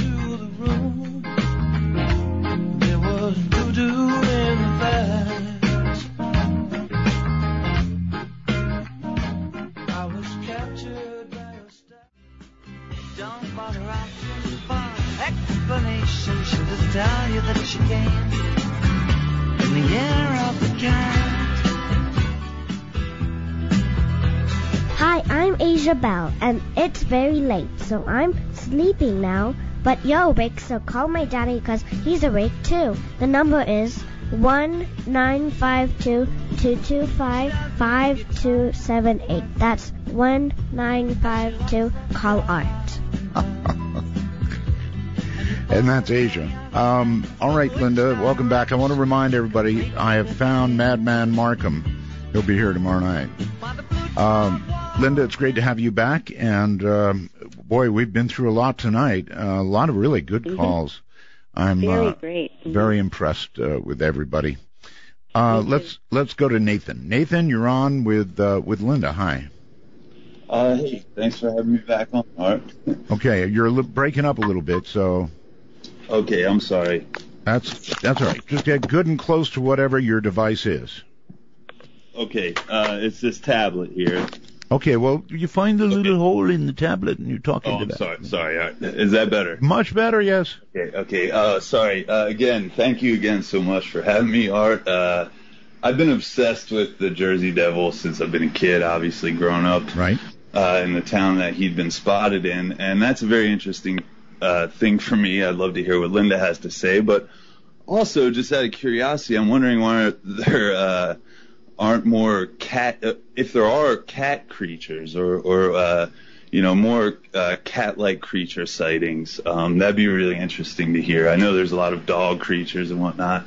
Um, but uh, but yeah, um, I'll take I'll take my question off the air, and uh, thanks again for having me, Art. Sure, you um, you bet. Shout out to Bordentown, my dad John, who I experienced lost time with, and uh, turned me on to your show, right. and uh, my uncle Bob, and uh, you know, keep it weird, New Jersey. I love you so much, Art. You're you're Thank a you. huge huge influence in my life. It's so great to hear you back on the air. Thank you, my friend. All right, well, there you have it. The Jersey Devil. I have no idea. What is the Jersey Devil anyway? The Jersey Devil is um, it's actually a, a really famous cryptid, although it's very hard to pin down exactly what it looks like, and it's kind of confusing because it's supposed to have started with um, this old legend dating back to 1735, where a woman had uh, one too many children and cursed it, and it turned out to be a demon that ate family and ran into the woods. That's one version. There are different versions, and then it surfaced again not until almost 200 years later, in 1909 went into um, Haddon Heights uh, and 30 different New Jersey communities. And in Haddon Heights, all the passengers on a city trolley saw the creature at the same time. Policemen saw it. The, the fire departments were shooting it with water hoses. And it was said to look kind of like a kangaroo with wings, and it would uh, fly up onto houses and leave footprints shaped like horses' hoofs. So it was this really, really weird thing and not so much doing destruction um as well it pets and farm animals would go missing basically was what happened. And then it sort of went away again. Uh, supposedly it still shows up now and then. Um i know people from the area who uh study it at great depth and they say there are still some sightings of it but um I don't know if the gentleman also wanted me to address the cat-like creatures because that is something that's much lesser known, but uh, does happen. And um, I talked about that in the Real Wolfman book. I started getting reports, especially out of California, out of something that I call the Doberman lynx, because it seemed to be, and especially seen around the canyons around LA for some reason, um, where it looks kind of like um, part bipedal lion combined with with um, these high ear tufts and some of the facial features that remind people more of um, like a Doberman, which is really strange. And I'm not sure what to make of it. I don't know if it's just some strange special dog breed that has cropped up there. Um, but then you go into the southern states, and there's a very widespread legend of something called the Wampus cat, which is um, something like, again, a mountain lion walking upright that has a blood chilling yowl and, and screams, and again goes back to a very ancient legend that may or may not be connected with modern day science. The only cat I ever saw, Linda, I drove for 10 years between here and Las Vegas. One night coming down the mountain on the Vegas side, uh, this thing walked across the street. It was a mountain lion, I'm sure of it. hmm Pretty sure of it. It was gigantic. And I'm telling you, Linda, it covered both lanes. It, there, it, you know, it was only two lane, one lane Mm-hmm. going each direction, and I slammed the. Br- I was doing seventy. Wow. Uh, slammed the brakes on, uh, went every way but sideways, and I missed the thing, thank God. But it scared the poop out of me. I don't blame you. Yeah, they're scary. I'm much more afraid of those than Bigfoot or Dogman. When I say big, I, it covered both lanes. It was that big. Wow. I, wa- That's a I wasn't going to miss it unless it moved enough, and it did, thank God. Yikes. Yeah, yikes Yes. is right. All right, uh, let's go here to the telephone, and I think Florida. Hello. Hi. Uh, I want to ask your guest if she's familiar with the story. I've seen several stories this summer about uh, sightings in the Milwaukee area of some sort of big cat. One story I'm reading right now from July says Milwaukee's Beast, the mysterious mountain lion terrifying Wisconsin. Can you give us an update on what the latest on that is? And then, second question Have you ever, yeah, I know you did a book on ghosts. Have you ever seen a ghost? And what is your feeling about the credibility of EVP recordings as evidence? Do you think that's credible or not? Okay, that's quite a wide range. It is. but but I can start you off. Yeah, definitely. I've been following the the mountain lion very closely because um, I've been gearing up for a very big blog post. I I did a preliminary blog post. If you go to lindagodfrey.com and go back just a couple um, of of spaces in in the blogs, you'll find one on that um, Milwaukee mountain lion and some previous ones that were in the area. I happen to live right smack in the pathway. My husband was stalked and almost attacked two years ago in October by a mountain lion that he then saw the next day, and two of our neighbors saw it too. They come from the Black Hills, they go through Minnesota, they come down through southeastern Wisconsin, and um, that's how one ended up in Chicago five years ago. That was ended up being shot, and that same one had been identified by DNA as being within five miles of my house. So I like to keep tabs on these. I took a walk in the Kettle Moraine with some friends last winter uh, in uh, February looking for um, some Bigfoot signs, and instead we saw hundreds and hundreds of mountain lion tracks following us in and crossing as we came back out. So these things are around, and I've got a huge documentation of them all around the central area of Wisconsin. So um, they're here, they're on the move. These are real animals, and um, I'm just hoping that there isn't any sort of tragic um, accident before our uh, it will be admitted that they actually are here because they're one of these creatures that the authorities do not like to admit is here. It costs them a lot of money um, to have to do fulfill certain things in the law to take care of them. If that happens, that's one one big reason. All right, he wants you to jump then to ghosts and EVPs as proof. I have seen ghosts, and shockingly enough, it was when I was looking for them. Um, I wrote, I, I co-authored Weird Wisconsin and authored uh, Weird Michigan with the Barnes and Noble Weird U.S. series. So one of the things that I had to do was go to many of the very known, very haunted sites in both states, and in each state, I saw one ghost in place where it was supposed to be, and they were both just uh, surprise visits. The host had no chance to send anything up. It was both both times it was in daytime, and they were very. Both times I was so shocked that I had a camera in my hands with a strap around my neck, and I never got the camera up in time to actually take the picture of a ghost. Um, it would take me quite a bit of time to tell you both stories, but um, they are in the Weird Wisconsin and Weird Michigan books, um, and Okay, you know I- anything about E EVPs? EVPs scare me even more than mountain lions. and I've heard some really good ones. I, you know, I, I don't know for sure what they are, but I think there's some credence to the idea that there are things floating in some other reality. I, I'm not sure if they're from actual dead people or if they are other entities I don't know that that are pretending that are pretending to be dead people. But what I've heard, and I've heard some really creepy ones from um, people at different conferences. Uh, they're they're usually really really frightening and scary. The things that these things are saying, and if anything ever seemed demonic to me, it's E EVP. Okay, James on uh, Skype. Hello there. You're on the air with uh, Linda Godfrey. Hello, Art and Linda. I just wondered Hi, if uh, Linda had ever heard the uh, story of the Woolly Burger in Ohio, Central Ohio.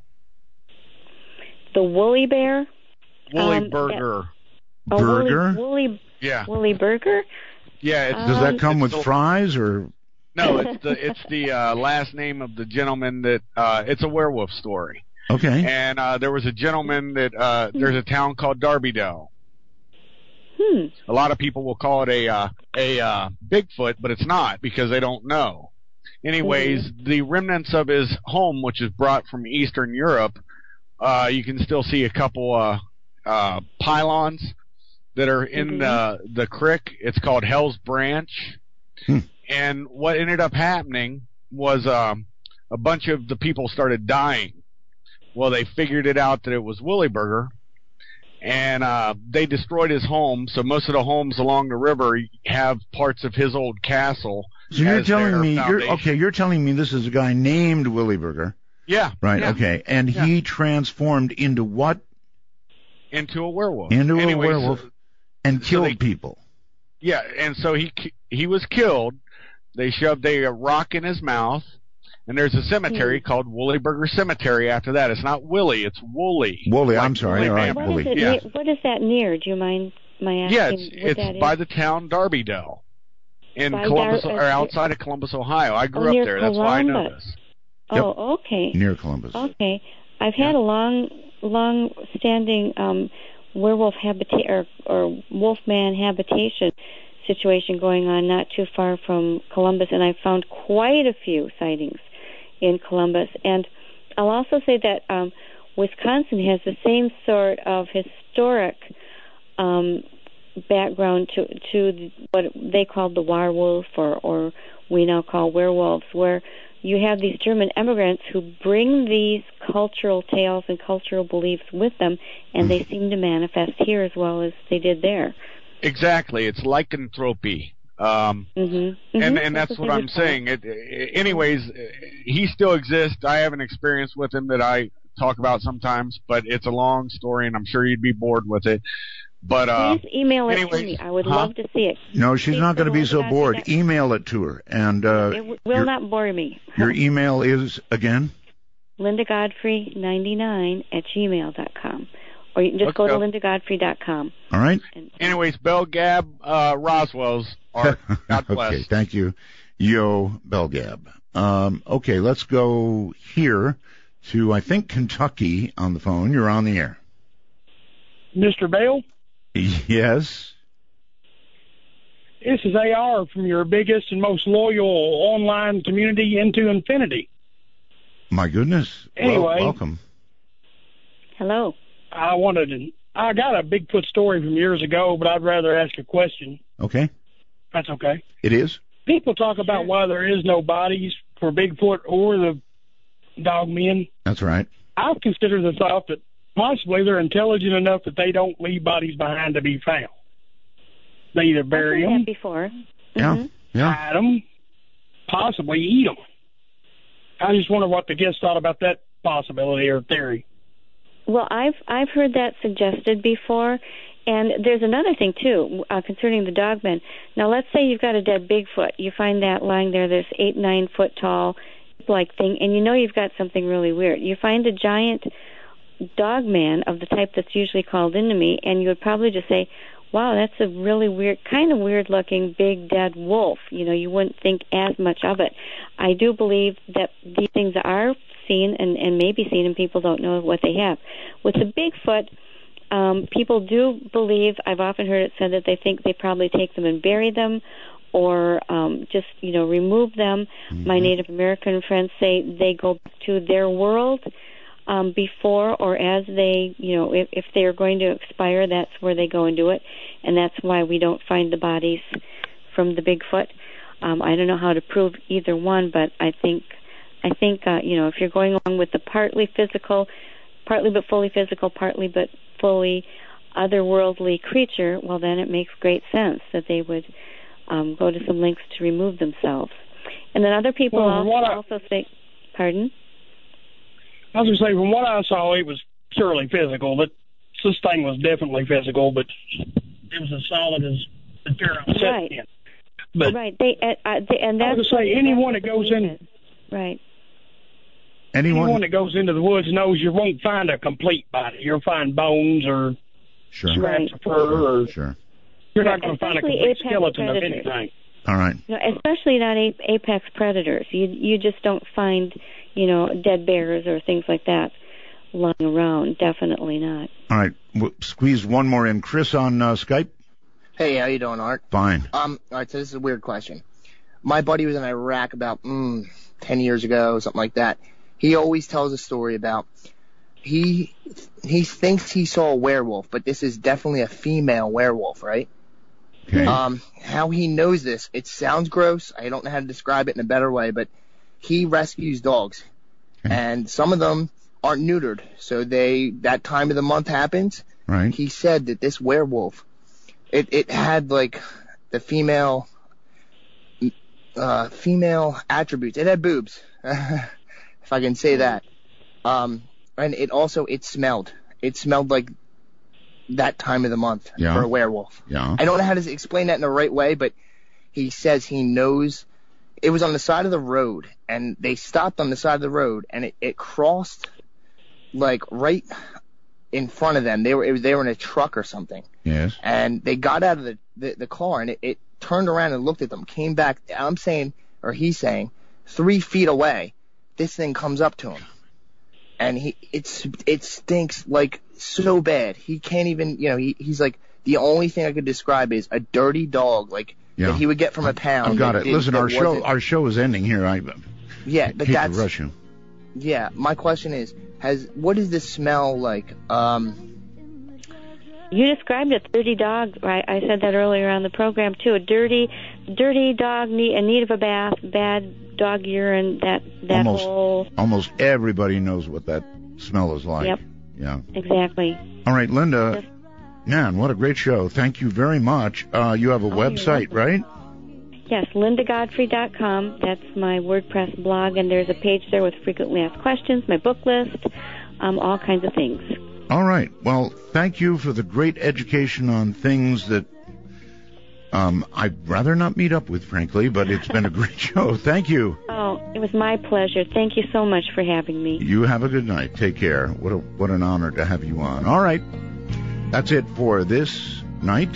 And again, uh, you might want to pass the word. I've found Madman. He'll be with us uh, for some period of time tomorrow night. I don't know. Madman is uh,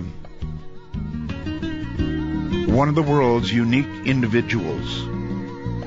Madman Markham. Till then, all the uh, time zones around the earth, good night. Have a wonderful night. See you tomorrow.